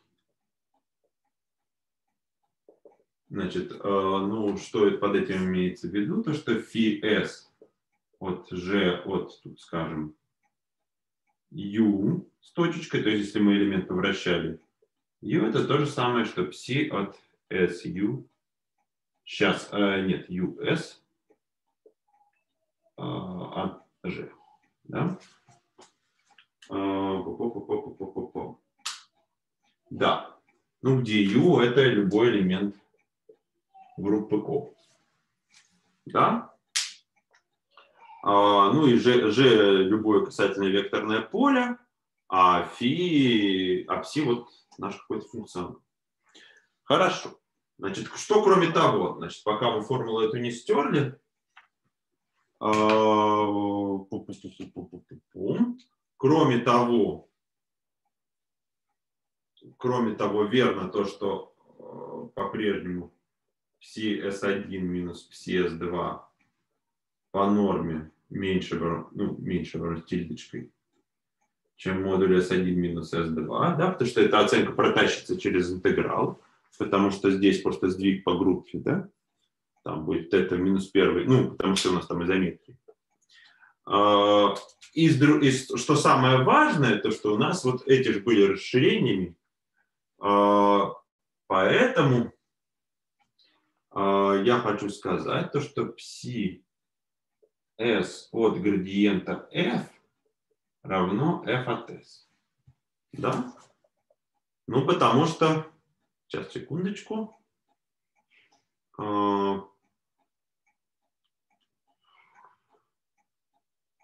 А, ну да, потому что эта формула вот так устроена, потому что у нас было, что фи от s от градиента f было равно f от s. То есть надо вот эту вот функцию, ну, короче говоря, потому что вот это вращение, оно вот это вот тождество оставляет на месте. Да? Значит, нам надо взять значение вот этой функции, вот в этой точке останется f от s. Вот это самое, ну, как бы вот это свойство нам обязательно надо тащить за собой.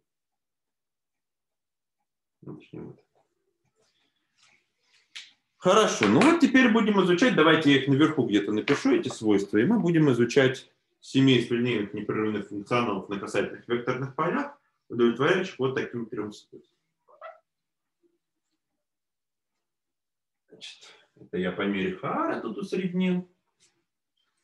Значит, давайте э, свойство АБВ.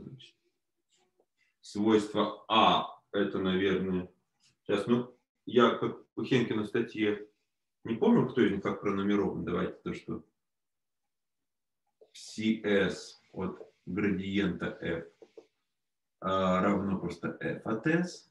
Свойство b это давайте липшицевость будет, то, что CS1 минус CS2 меньше равно с некоторой константой, чем S1 минус S2. Ну и свойство v это инвариантность относительно вращения, это то, что CS от G от U, значит, точечка равно пси от US от. Значит, U из группы изометрических преобразований сфер. Хорошо.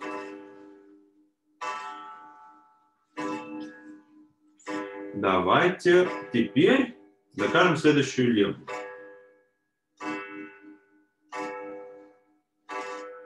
Значит, если Значит, э, любое семейство линейных непрерывных функционалов на ТВФ, удовлетворяющий вот это свойство вероятности В, значит,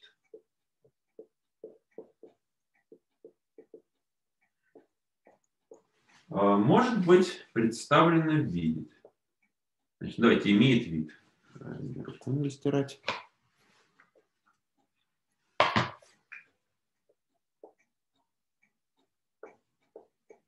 Имеет вид. А, просто, значит, CS от G а, равно интеграл по S2. А, значит, что там у нас? Сейчас скажу, тут обозначение требует. GS от T, d mu от модуль t минус s. А, так, ну так нехорошо. Ну, нормально, ладно. Где, значит, μ это некоторая мера на а, интервале, там сколько, от минус 2 до 2, значит, где μ мера со знаком.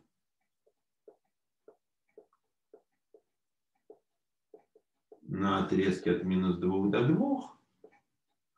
А GS, значит, от T, это проекция вектора G T на касательный, значит, единичный, касательный к сфере вектор а, ну, касательный в точке Т э, к сфере вектор в точке Т, э, смотрящий в направлении S.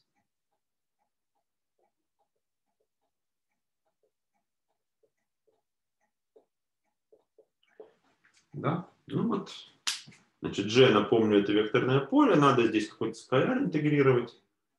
А, сейчас, секунду ну, не проекция, а, значит, скалярное произведение с этим вот вектором. Не проекция, а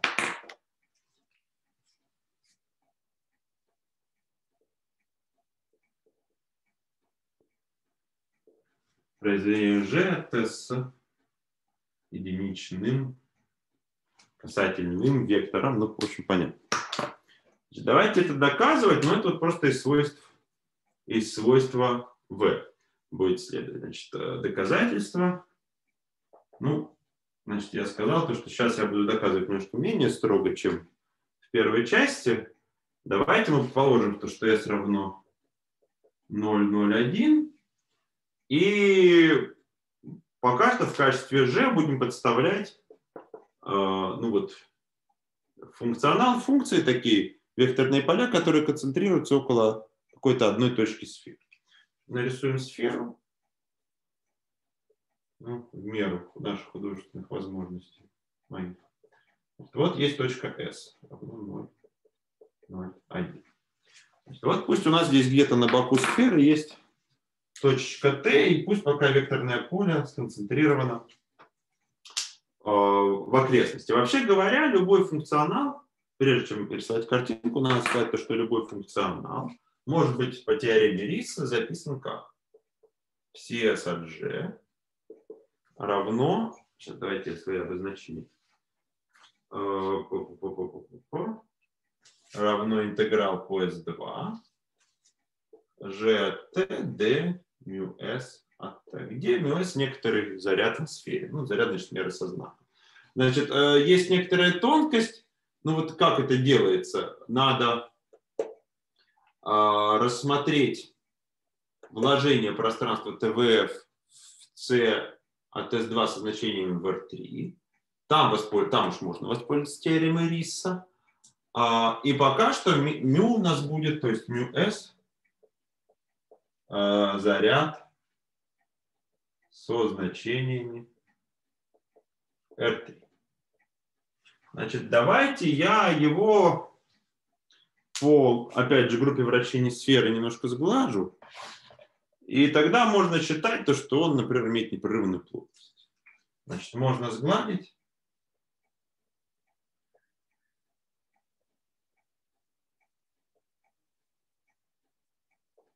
Что μ равно некоторая функция, как ее называю, ms d лямбда 2. Ну, лямбда 2 на S. В общем, то, что эта мера абсолютно непрерывна по мере бега на сфере. Хорошо. Давайте теперь, ну, значит, теперь ms это некоторая э, функция со значением VR3, и ее уже можно спроектировать, чтобы это было касательным, значит, э, касательным, э, тоже касательным вектором. Да, потому что некасательные компоненты на функции пространства ТВФ не действуют никак. Просто можно. Ну и это оставить функцию мысли непрерывно. Да, то есть вот если у нас как вектор торчал сюда, то его можно разложить на ортогональную компоненту и касательную, ну и вот скалярное произведение G, вот здесь записано скалярное произведение, а оно, там будет роль играть только э, касательный компонент, а остальные можно просто выкинуть. Ну, это поэтому непрерывный процесс. Таким образом, Значит, мы работаем с формулой, то, что CS от G равно интеграл по S2, скалярное произведение G, T и MS от T d лямбда 2 где лямбда 2 мера Лебега на сфере S. И вот надо как-то выяснять, как этот вектор ms от t может быть направлен. Вот теперь надо смотреть на картину. Давайте векторное поле G но каждый будет в окрестности одной точки Т жить. Ну тогда понятно то, что э, вот если мы здесь есть точка S, посечем сферу плоскостью, у которой z равно константа, там нарисуется некоторая окружность. Это такая, скажем так, горизонтальная окружность, да, которая в плоскости z равно константе. Понятно то, что если мы функцию уже будем брать в окрестности маленьких точек, одинаковую, и ее вращать, пользуясь вот этой формулой, понятно то, что тогда, то есть мы оставляем точку S на месте и вращаем сферу вокруг оси Z. Понятно, что тогда вот я рисую э, как бы, векторное поле ms, что оно здесь будет, эти векторы должны переходить друг друга при вращении. То есть, ну как, ms от t от ut равно ms от t. Да? А где u это сейчас вот вращение, которое сохраняет точку s. С другой стороны, надо теперь объяснить, почему этот вектор, вот тут написано, он должен смотреть в точку s. Но это очень просто, то есть догадаться сложно, но на самом деле, потому что мы рассмотрим все изометрические преобразования сферы, если вот он, например, на этой большой окружности смотрит не по ней, то при симметрии относительно такой вот плоскости, да, которая проходит через точку Т и S, этот вектор должен перейти в себя. Но значит, он смотрит в направлении точки S. Больше ему смотреть нет. Вот. Ну, это и есть вот эта запись. То есть, смотрите, у нас тогда этот вектор, он на этих окружностях постоянный, смотрит в сторону точки S. Но это вот оно и есть, значит, он, значит, я хочу сказать то, что m s от t равно некоторая функция m от модуля t минус s, да, потому что что такое эта окружность? Это как раз множество точек на сфере, от которых расстояние до точки S постоянно. Ну и вот он направлен в сторону точки S. Это благодаря себе. Таким образом, лемма доказана. Ну, здесь надо там еще пределы перейти, ну, это вкус. Вот, значит, лемму доказали. Значит, давайте теперь это вот ее куда-нибудь перепишем. И следующая лемма будет еще веселее. Значит, чтобы не стереть. Давайте формулы я оставлю, а, а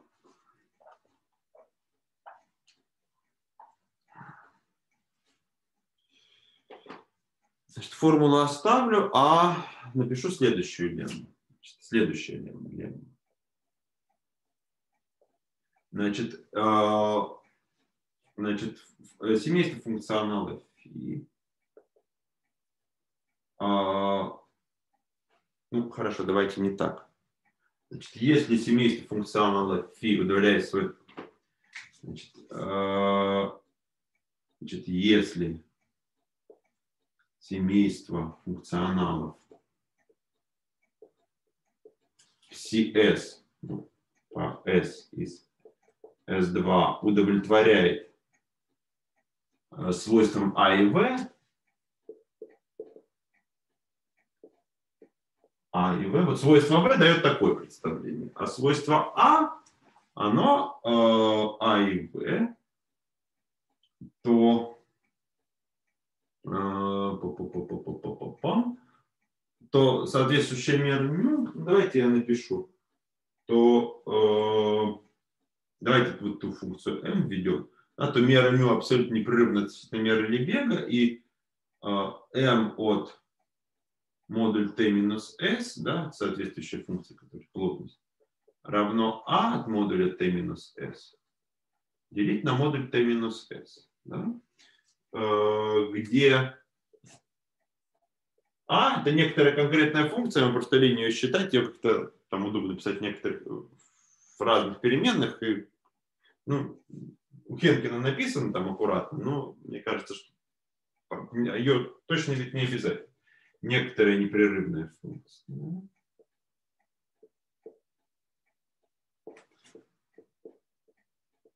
Функция. И что про нее важно, что она не равна нулю.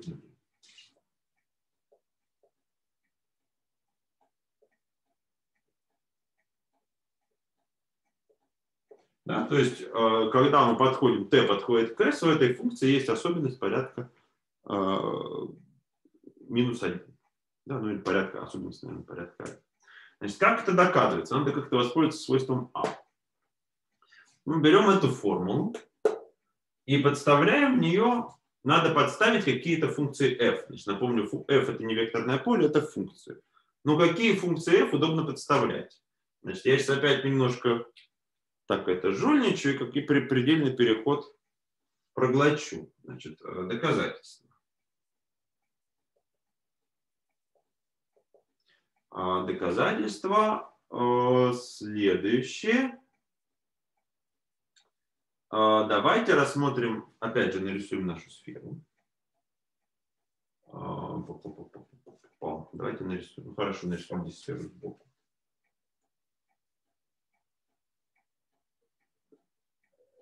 Вот наша точка S.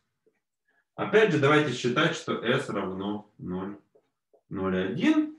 И рассмотрим функцию f, которая характеристическая функция шапочки. Значит, на сфере, опять же, есть шапочки. Ну, то есть это вот э, множество, где множество тех точек на сфере, где z больше, чем э, что-то. Ну вот пусть там на этой шапочке лежит точка t. Значит, э, f это характеристическая функция множества, где z, например, больше либо равен, ну вот мне удобно было написать, чем 1 минус h. Где h это некоторый маленький параметр. Вот h это расстояние от точки s до этой шапочки. Ну, в смысле, не обязательно маленький, просто какой-то параметр. Ну, значит, понятно то, что h и t, они как-то связаны, вот, и, ну, там, что это все-таки это корень тригонометрии, вот мне эту формулу писать не хочется, вот поэтому функцию я явно не буду выписывать. Это не очень Значит, э, конечно, вы сейчас мне скажете, что я жульничаю, потому что это совсем, эта функция совсем не класса C1. Ну вот что надо сделать, значит, если мы нарисуем график этой функции, она зависит только от, от этого уровня, то ну, это что-то такое, значит, вот здесь уровень единица. Ой, только ее еще и нельзя подставлять, сейчас будем ее поправлять. Это скачок, да, такой. Вот здесь, значит, у нас один минус. Ну, надо, конечно же, подставить какой-то такой плавный спуск, вот такой вот, и потом осуществить предельный переход. Ну, вот я это делать не буду, я буду прямо эту функцию представлять. А, значит, в чем проблема? То, что эта функция не является, у нее средний номер. Это более важно. Поэтому давайте мы сейчас подставим правильную функцию. А именно, значит, у этой функции у нее средняя, ну вот если мы считаем площадь поверхности сферы единица, ну она 4π, то площадь такой шапочки, я посмотрел в Википедии, это 2πh. То есть, ну, что совпадает с тем, что когда h равно двойке, должно быть 4π. Поэтому, чтобы средняя была 0, мы вычтем h пополам. То есть это функция, которая, э, у нее скачок по-прежнему единица, но средняя 0. То есть она на самом деле, вот если смотреть на новую функцию, она чуть-чуть приспущена. Здесь чуть-чуть приспустилась, здесь чуть-чуть приспустилась, и теперь у нее средняя. Скачок по-прежнему единица.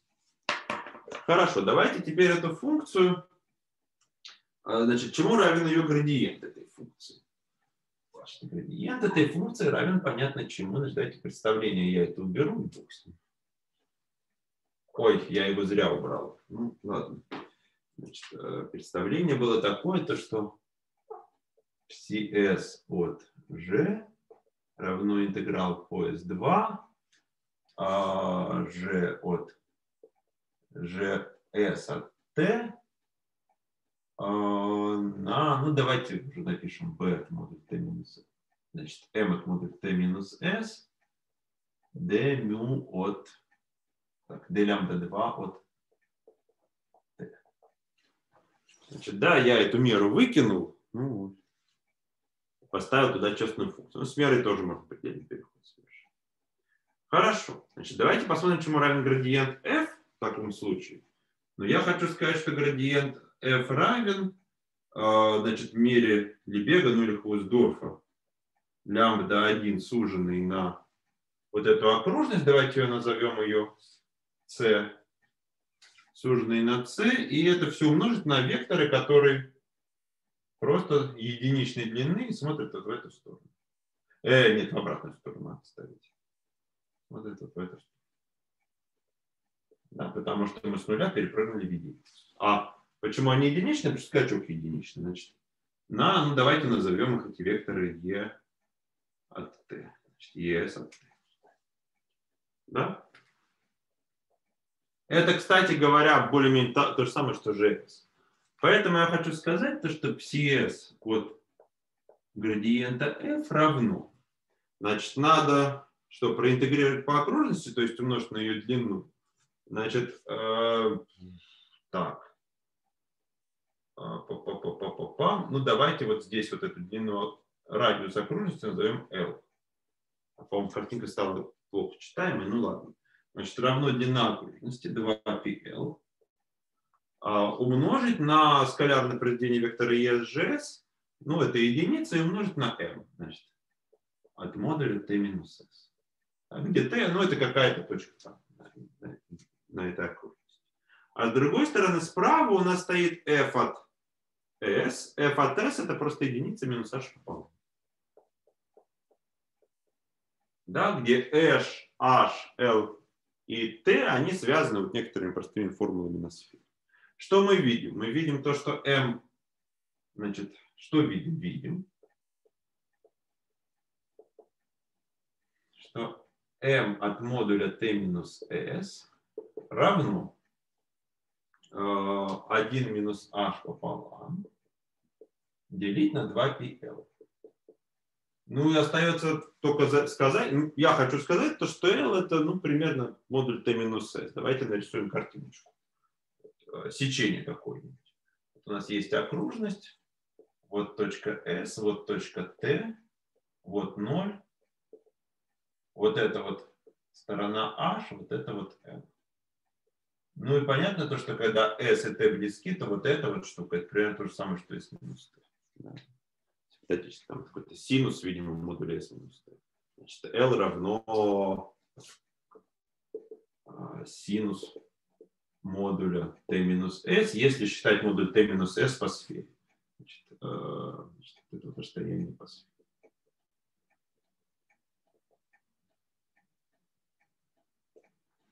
Вот так вот. Ну, то есть то, что я и заявлял, смотрите, когда у нас э, все S и близки, H, ну, то есть когда вот, что такое функция А? Это вот 1 минус h пополам делить на 2π. Когда э, t и s близки, то есть когда у нас э, там где 0, там понятно, что это стремится к 1 делить на 2π.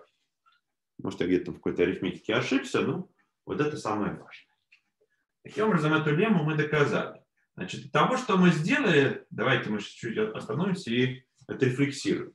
Мы предположили противное, и это дало нам некоторое семейство функционалов при помощи вот такого факта из общей теории пространства типа C от K, семейство функционалов, которые удовлетворяют таким трем свойствам. Значит, ну вот свойство V мы заработали вращениями сфер, что есть сферы много из них. Да, это, конечно, все хорошо. После чего, пользуясь свойствами V и A, мы пришли то, что наша вот это отображение, ну, семейство функционалов PCS, оно имеет очень конкретный вид. Функция это что-то, что можно посчитать, вот все задано вот такой форме. Значит, ну что, надо теперь, мы еще не поняли свойством B. Давайте попробуем перейти к противоречию свойством, со свойством B. Значит, давайте я, в общем-то, достаточно доказать вот такое утверждение. А, Значит, да, хорошо. Это мы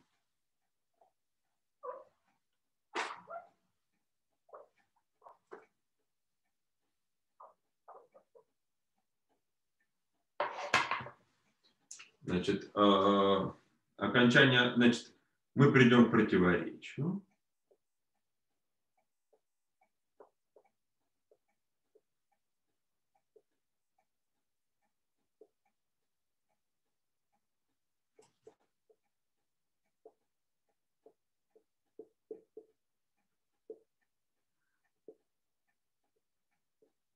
Значит, придем к противоречию, если докажем неравенство, то что норма PS1 минус PS2 а, больше либо равна, ну, с тильдочкой с какой-то, давайте больше бы равно чем некоторая маленькая константа c, s1 минус s2 логарифм s1 минус s2 минус 1. Да? Потому что логарифм будет расти, значит, когда s1 и s2 близки.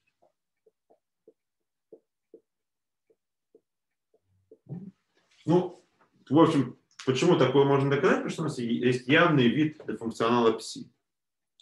Функционал psi задан на всех касательных векторных полях. Вот поэтому будем сейчас приходить к противоречию. Давайте просто эту скобочку напишем. Значит, давайте я эту формулу немножко перепишу. Значит, мы знаем то, что psi от g это просто интеграл по s2. Ну, давайте так сделаем. Значит, ES от T скалярное произведение G от T. Значит, ну ES это вот единичный вектор, который смотрит из точки T в точку S, да, в касательном пространстве. Это вот ровно то самое хенкетское скалярное произведение. Делить на модуль T минус S. Ну, еще на некоторую невинную функцию А, А от модуля T минус S. И все это D лямбда 2 Давайте напишем вот эту разность, тоже сумняшися. Значит, psi s1 от g минус psi s2 от g равно. Значит, интеграл по s2. А, вот просто что есть. А, значит, es от es1 от t делить на модуль t минус s1 на А модуля Т минус С1 минус ЕС2 от Т делить на модуль Т минус С2 А от модуля Т минус С2. И вот это все доскалярно умножить на G от Значит, ну, G у нас, конечно, не произвольная векторная функция с значением в R3. Но, с другой стороны, нетрудно видеть то, что если бы это была произвольная функция, то норма такого конкретного функционала это был бы просто интеграл по t вот этой модуля вот этой штуки. Ну вот оказывается, что с касательными полями то же самое. Это несложно понять, потому что вот этот вектор, собственно, лежит в касательной плоскости, поэтому если какая-то функция есть, то ее можно и спроектировать. Да? Поэтому нам лишь достаточно доказать, вот это я все стираю, Да? Значит, э, достаточно доказать,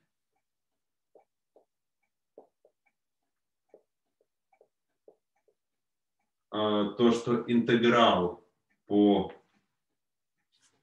ну, интеграл модуля, да, но это, это как, это теорема Риса наоборот, как посчитать норму функционала на c от k. Надо полной вариации меры. Ну вот и здесь то же самое. Модуль e s1 от t делить на модуль t минус s1, а от модуль t минус s1 минус e s2 t делить на модуль t минус s2, а от модуль t минус s2. d лямбда 2 от t.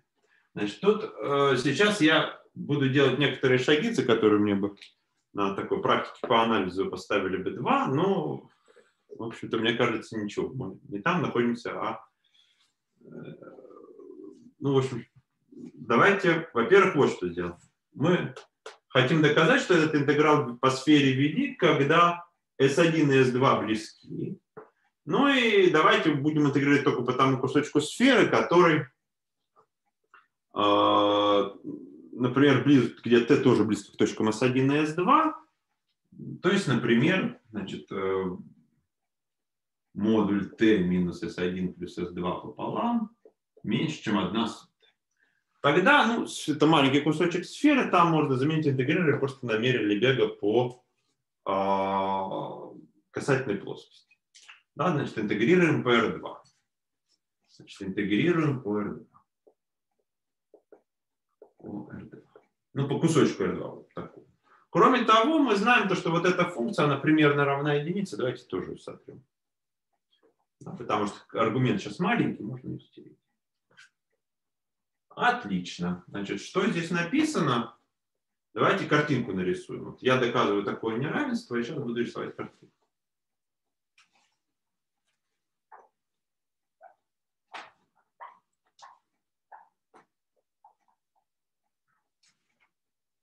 Значит, я сейчас буду рисовать картинку. Значит, мне надо сказать, значит, э, вот у меня есть точка, например, S1 есть точка S2. а где-то есть точка t. А, ну и что такое ES1 от t делить на t минус S1? Значит, я хочу сказать, что ES1 от t делить на модуль t минус S1 это просто t минус S1 делить на модуль t минус S1 в квадрате. Да? Ну, это мы немножко жульничали, мы со сферы пересели на плоскость, ничего при этом не объясняли.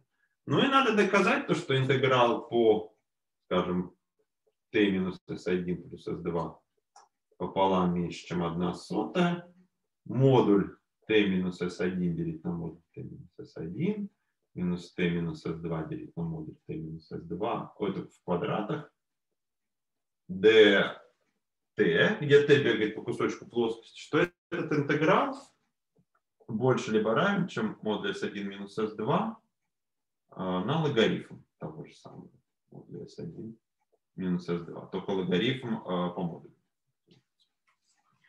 Ну, как это доказывается? Ну, на самом деле, когда вот точка Т лежит вне, там, скажем, круга радиусом, э, ну, давайте t минус s1, уменьшим интеграл, что пусть это будет больше, чем, например, э, модуль s1 минус s2, там, чем 5 модулей s1 минус s2. Ну и давайте пусть она лежит в какой-нибудь таком вот угле еще под 45 градусов, чтобы она вот здесь не лежала. А, я тогда хочу сказать, что такое выражение, вот это вот, оно больше либо равно, чем модуль S1 минус S2 делить на модуль T. Ну, почему? Как-то так строго это не очень понятно, как доказать, хотя, наверное, можно. Но по наивному давайте пусть точка Т лежит напрямую S1 минус S2 да, тогда можно раскрыть скобки, значит, что будет? Там тогда все упрощается, получается 1 делить на t минус s1 1 делить на t минус s2, ну это чему равно? Значит, э, приводим к общему знаменателю, это равно s1 минус s2 делить на t минус s1, t минус s2. Да, и ну вот в этой области, вот вне, давайте зелененькая область,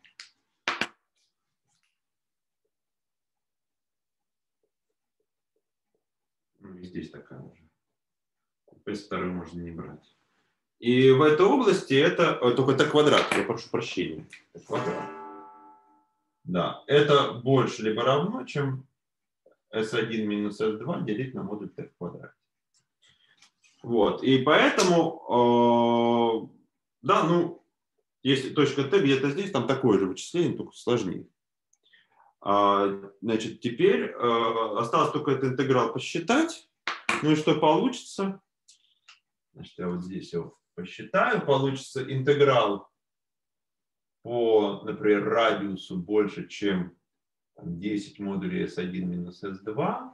Ну, там до одной сотой. Значит, ну, я такой, э, как бы, не, угол ненулевого раствора. И интегрирую я там модуль S1 минус S2 в квадрате делить на модуль t в квадрате dt. Значит, ну это равно некоторая маленькая константа, ой, это без квадрата, равно модуль S1 минус S2, делаю сферическую замену на интеграл от 10 модулей S1 минус S2 до там 1 сотой, dr делить на r. Ну вот, собственно, и вот тот самый логарифм модуля. Да, равно на логарифм модуля S1 минус S2 минус 1. Все. То есть мы таким образом теорему Хенкина доказали.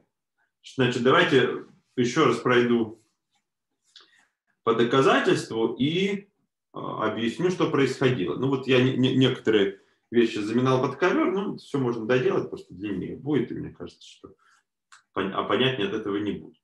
Значит, что мы сделали? А, давайте это я все сотру. Ну, вот это можно сделать. Точнее, нет, это так. вот, вот это можно стереть. Значит, что мы сделали? Мы сказали то, что если у нас наше пространство C, значит, C1 с ноликом это S2 дополняемо в там, C от K, то тогда оно, ну вот как бы инъективно в слабом смысле, и его вложение C01 это S2 касательные векторные поля на сфере очень естественно, осуществляемые просто градиентом, допускает продолжение, линейную процедуру продолжения э, линейных функционалов отсюда сюда. Это здесь есть очень естественное семейство линейных функционалов, это просто значение в точках сферы. Ну и вот мы его, э, э, это семейство функционалов пересадили на касательные векторные поля. Это было предположение, что там есть линейная процедура продолжения. После чего мы э, сказали то, что у сферы много изометрий, и усреднили по этим изометриям. Получили, кроме свойств А и Б, еще свойства В. После чего оказывается, что вот уже усредненных операторов, ну, усредненных смесей функционалов уже немного. А они задаются вот какими-то такими интегральными формулами, где эта мера, она зависит только от одной координаты. Потом мы воспользуемся вот этой формулой. И оказалось, что эта мера имеет просто конкретный вид. Но это что-то такое типа ядра интегрального представления. Оно вот оказывается единственное, что сфера очень многоизомерна. Ну и после чего пришли к противоречию. Значит, там как раз разошелся какой-то логарифмический интеграл. Пришли к противоречию вот Вот, э, значит, это такое доказательство Хемкина. Давайте я пару слов расскажу о другом доказательстве. В принципе, я все, что хотел рассказать, рассказал. Ну, немножко детали какие-то заживал. Но у меня еще там сколько, 15 минут. Давайте я из них, по крайней мере, 5 скажу о другом доказательстве, которое, значит, Кисляков, ну возможно, Бертендика было такое. Значит, сейчас я как-то это не готовил кусочек, но я думаю, что так я ничего доказывать не буду, сильно не надо. А, значит, там начало примерно такое же. Вот если у вас c 1, ну, например, квадратом, дополняемо в c от k, то мы опять же рассмотрим то же самое вложение. Мы вложим теперь c1 от 0,1 от квадрата, вложим в c от 0,1 но в квадрате со значениями в R2. То есть мы просто функции f сопоставим ее градиент. Значит, ну давайте градиент. Это такая векторная функция. И вот э, оказывается то, что ну, это примерно то же самое, то, что тогда есть оператор. Э, значит, там немножко другое. Вот посмотрим на образ этого пространства в этом пространстве C01 от R2. Значит, если бы пространство, э, ну вот C от K было бы инъективным, то здесь было бы, оно было бы дополняемым. Опять же, мы знаем, что оно не обязательно инъективное, переговорка слабой инъективности немножко другая. А, звучит вот как. Значит, вот у этого образа здесь, в этом пространстве, есть аннулятор. То есть множество функционалов, которые там зануляются. И этот аннулятор можно описать как а, множество мер, ну вот как функционал в таком пространстве задан. Значит, мы берем функции, там, скажем, g1, g2 и функционал phi g1, g2 это просто интеграл g1 d 1 плюс g2 d 2 по, то, э, фу, по квадрату. Да? Ну, это векторные функции. Ну и вот, значит, аннулятор это те пары мер, которые зануляются на градиенты. Проинтегрировав по частям, нетрудно понять, что, что это значит, аннулятор.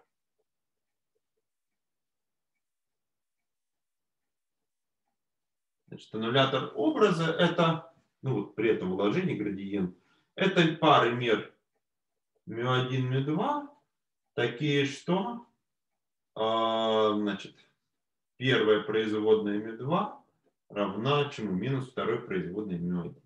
Ну, это я здесь по частям проинтегрирую. Это можно естественным образом отождествить с, ну вот если мы это отсюда возьмем, э, значит, их можно отождествить с э, чьими-то градиентами. Да? То есть, если вы смотрите с градиентами функции ограниченной вариации. Значит, э, функция ограниченной вариации, так, надо, наверное, весь вверх стереть уже. Значит, функция ограниченной вариации, это кто такие? Это А, ну вот просто такие обобщенные, скажем, функции на квадрате. Значит, bv вот, ну давайте нули в квадрате. Это не очень важно, потому что детали все равно пишу. Это просто множество f из, ну, например, там L1 от R2, таких, что э, градиент f это заряд. Ну и норма, вот пусть она наследуется с этого пространства. И оказывается то, что это изоморфно аннулятору э, градиента C1 а, ну вот в пространстве C от 0,1 в квадрате с значениями в R2, а аннулятор э, градиента C1. И э, та самая вот слабая инъективность говорит, что тогда это пространство, но оно в некотором смысле изоморфно L1. Значит, изоморфно L1, значит, если значит, C1 изоморфно C. Значит, это вот там есть некоторые тонкости, но я их не буду уделять, э, не, не буду в них вдаваться. А с другой стороны, Гретендик, так, так называемое неравенство Гретендика, он э, доказал то, что любой оператор из L1, скажем, в L2, Гретендика, он обладает некоторым свойством, дополнительному неравенству, которое называется э, абсолютная суммируемость. Значит, любой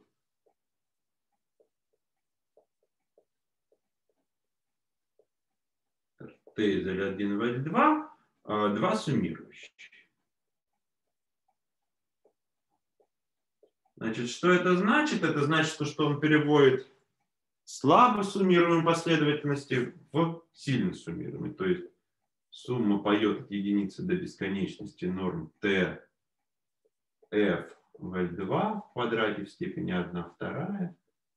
Меньше либо равна, чем супремум по, значит, давайте g за бесконечность, действие g на, только здесь f йод, на f йод, это все в квадрате, и сумма по йод в степени 1 вторая. Ну, то есть вот здесь я рассмотрел как бы последовательности функций из L2, здесь я посчитал просто, ну, L2 маленькая от их норм, а здесь я посчитал что-то такое похожее, только вот по действию функционала. Вот. Ну и оказывается то, что Кисляков подметил, что для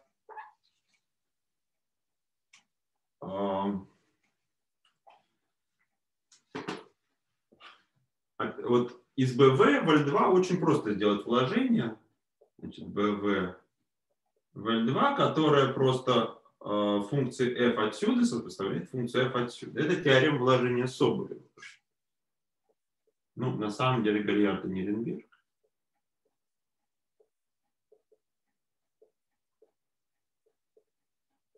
То, что норма f в L2 меньше либо равна, ну, наверное, даже с константой 1, чем норма D1F в зарядах, эти меры, плюс норма D2F в зарядах.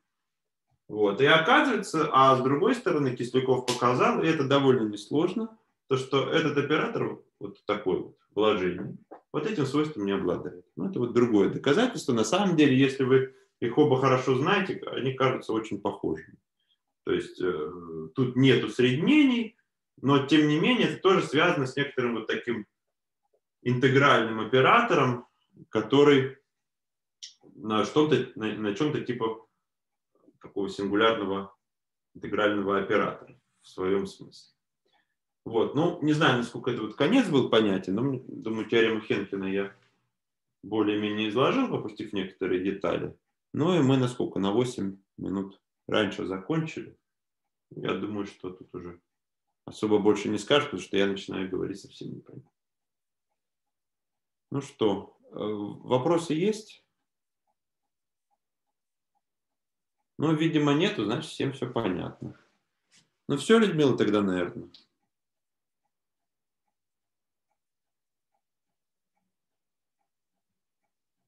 Ну ладно, что-то все молчат.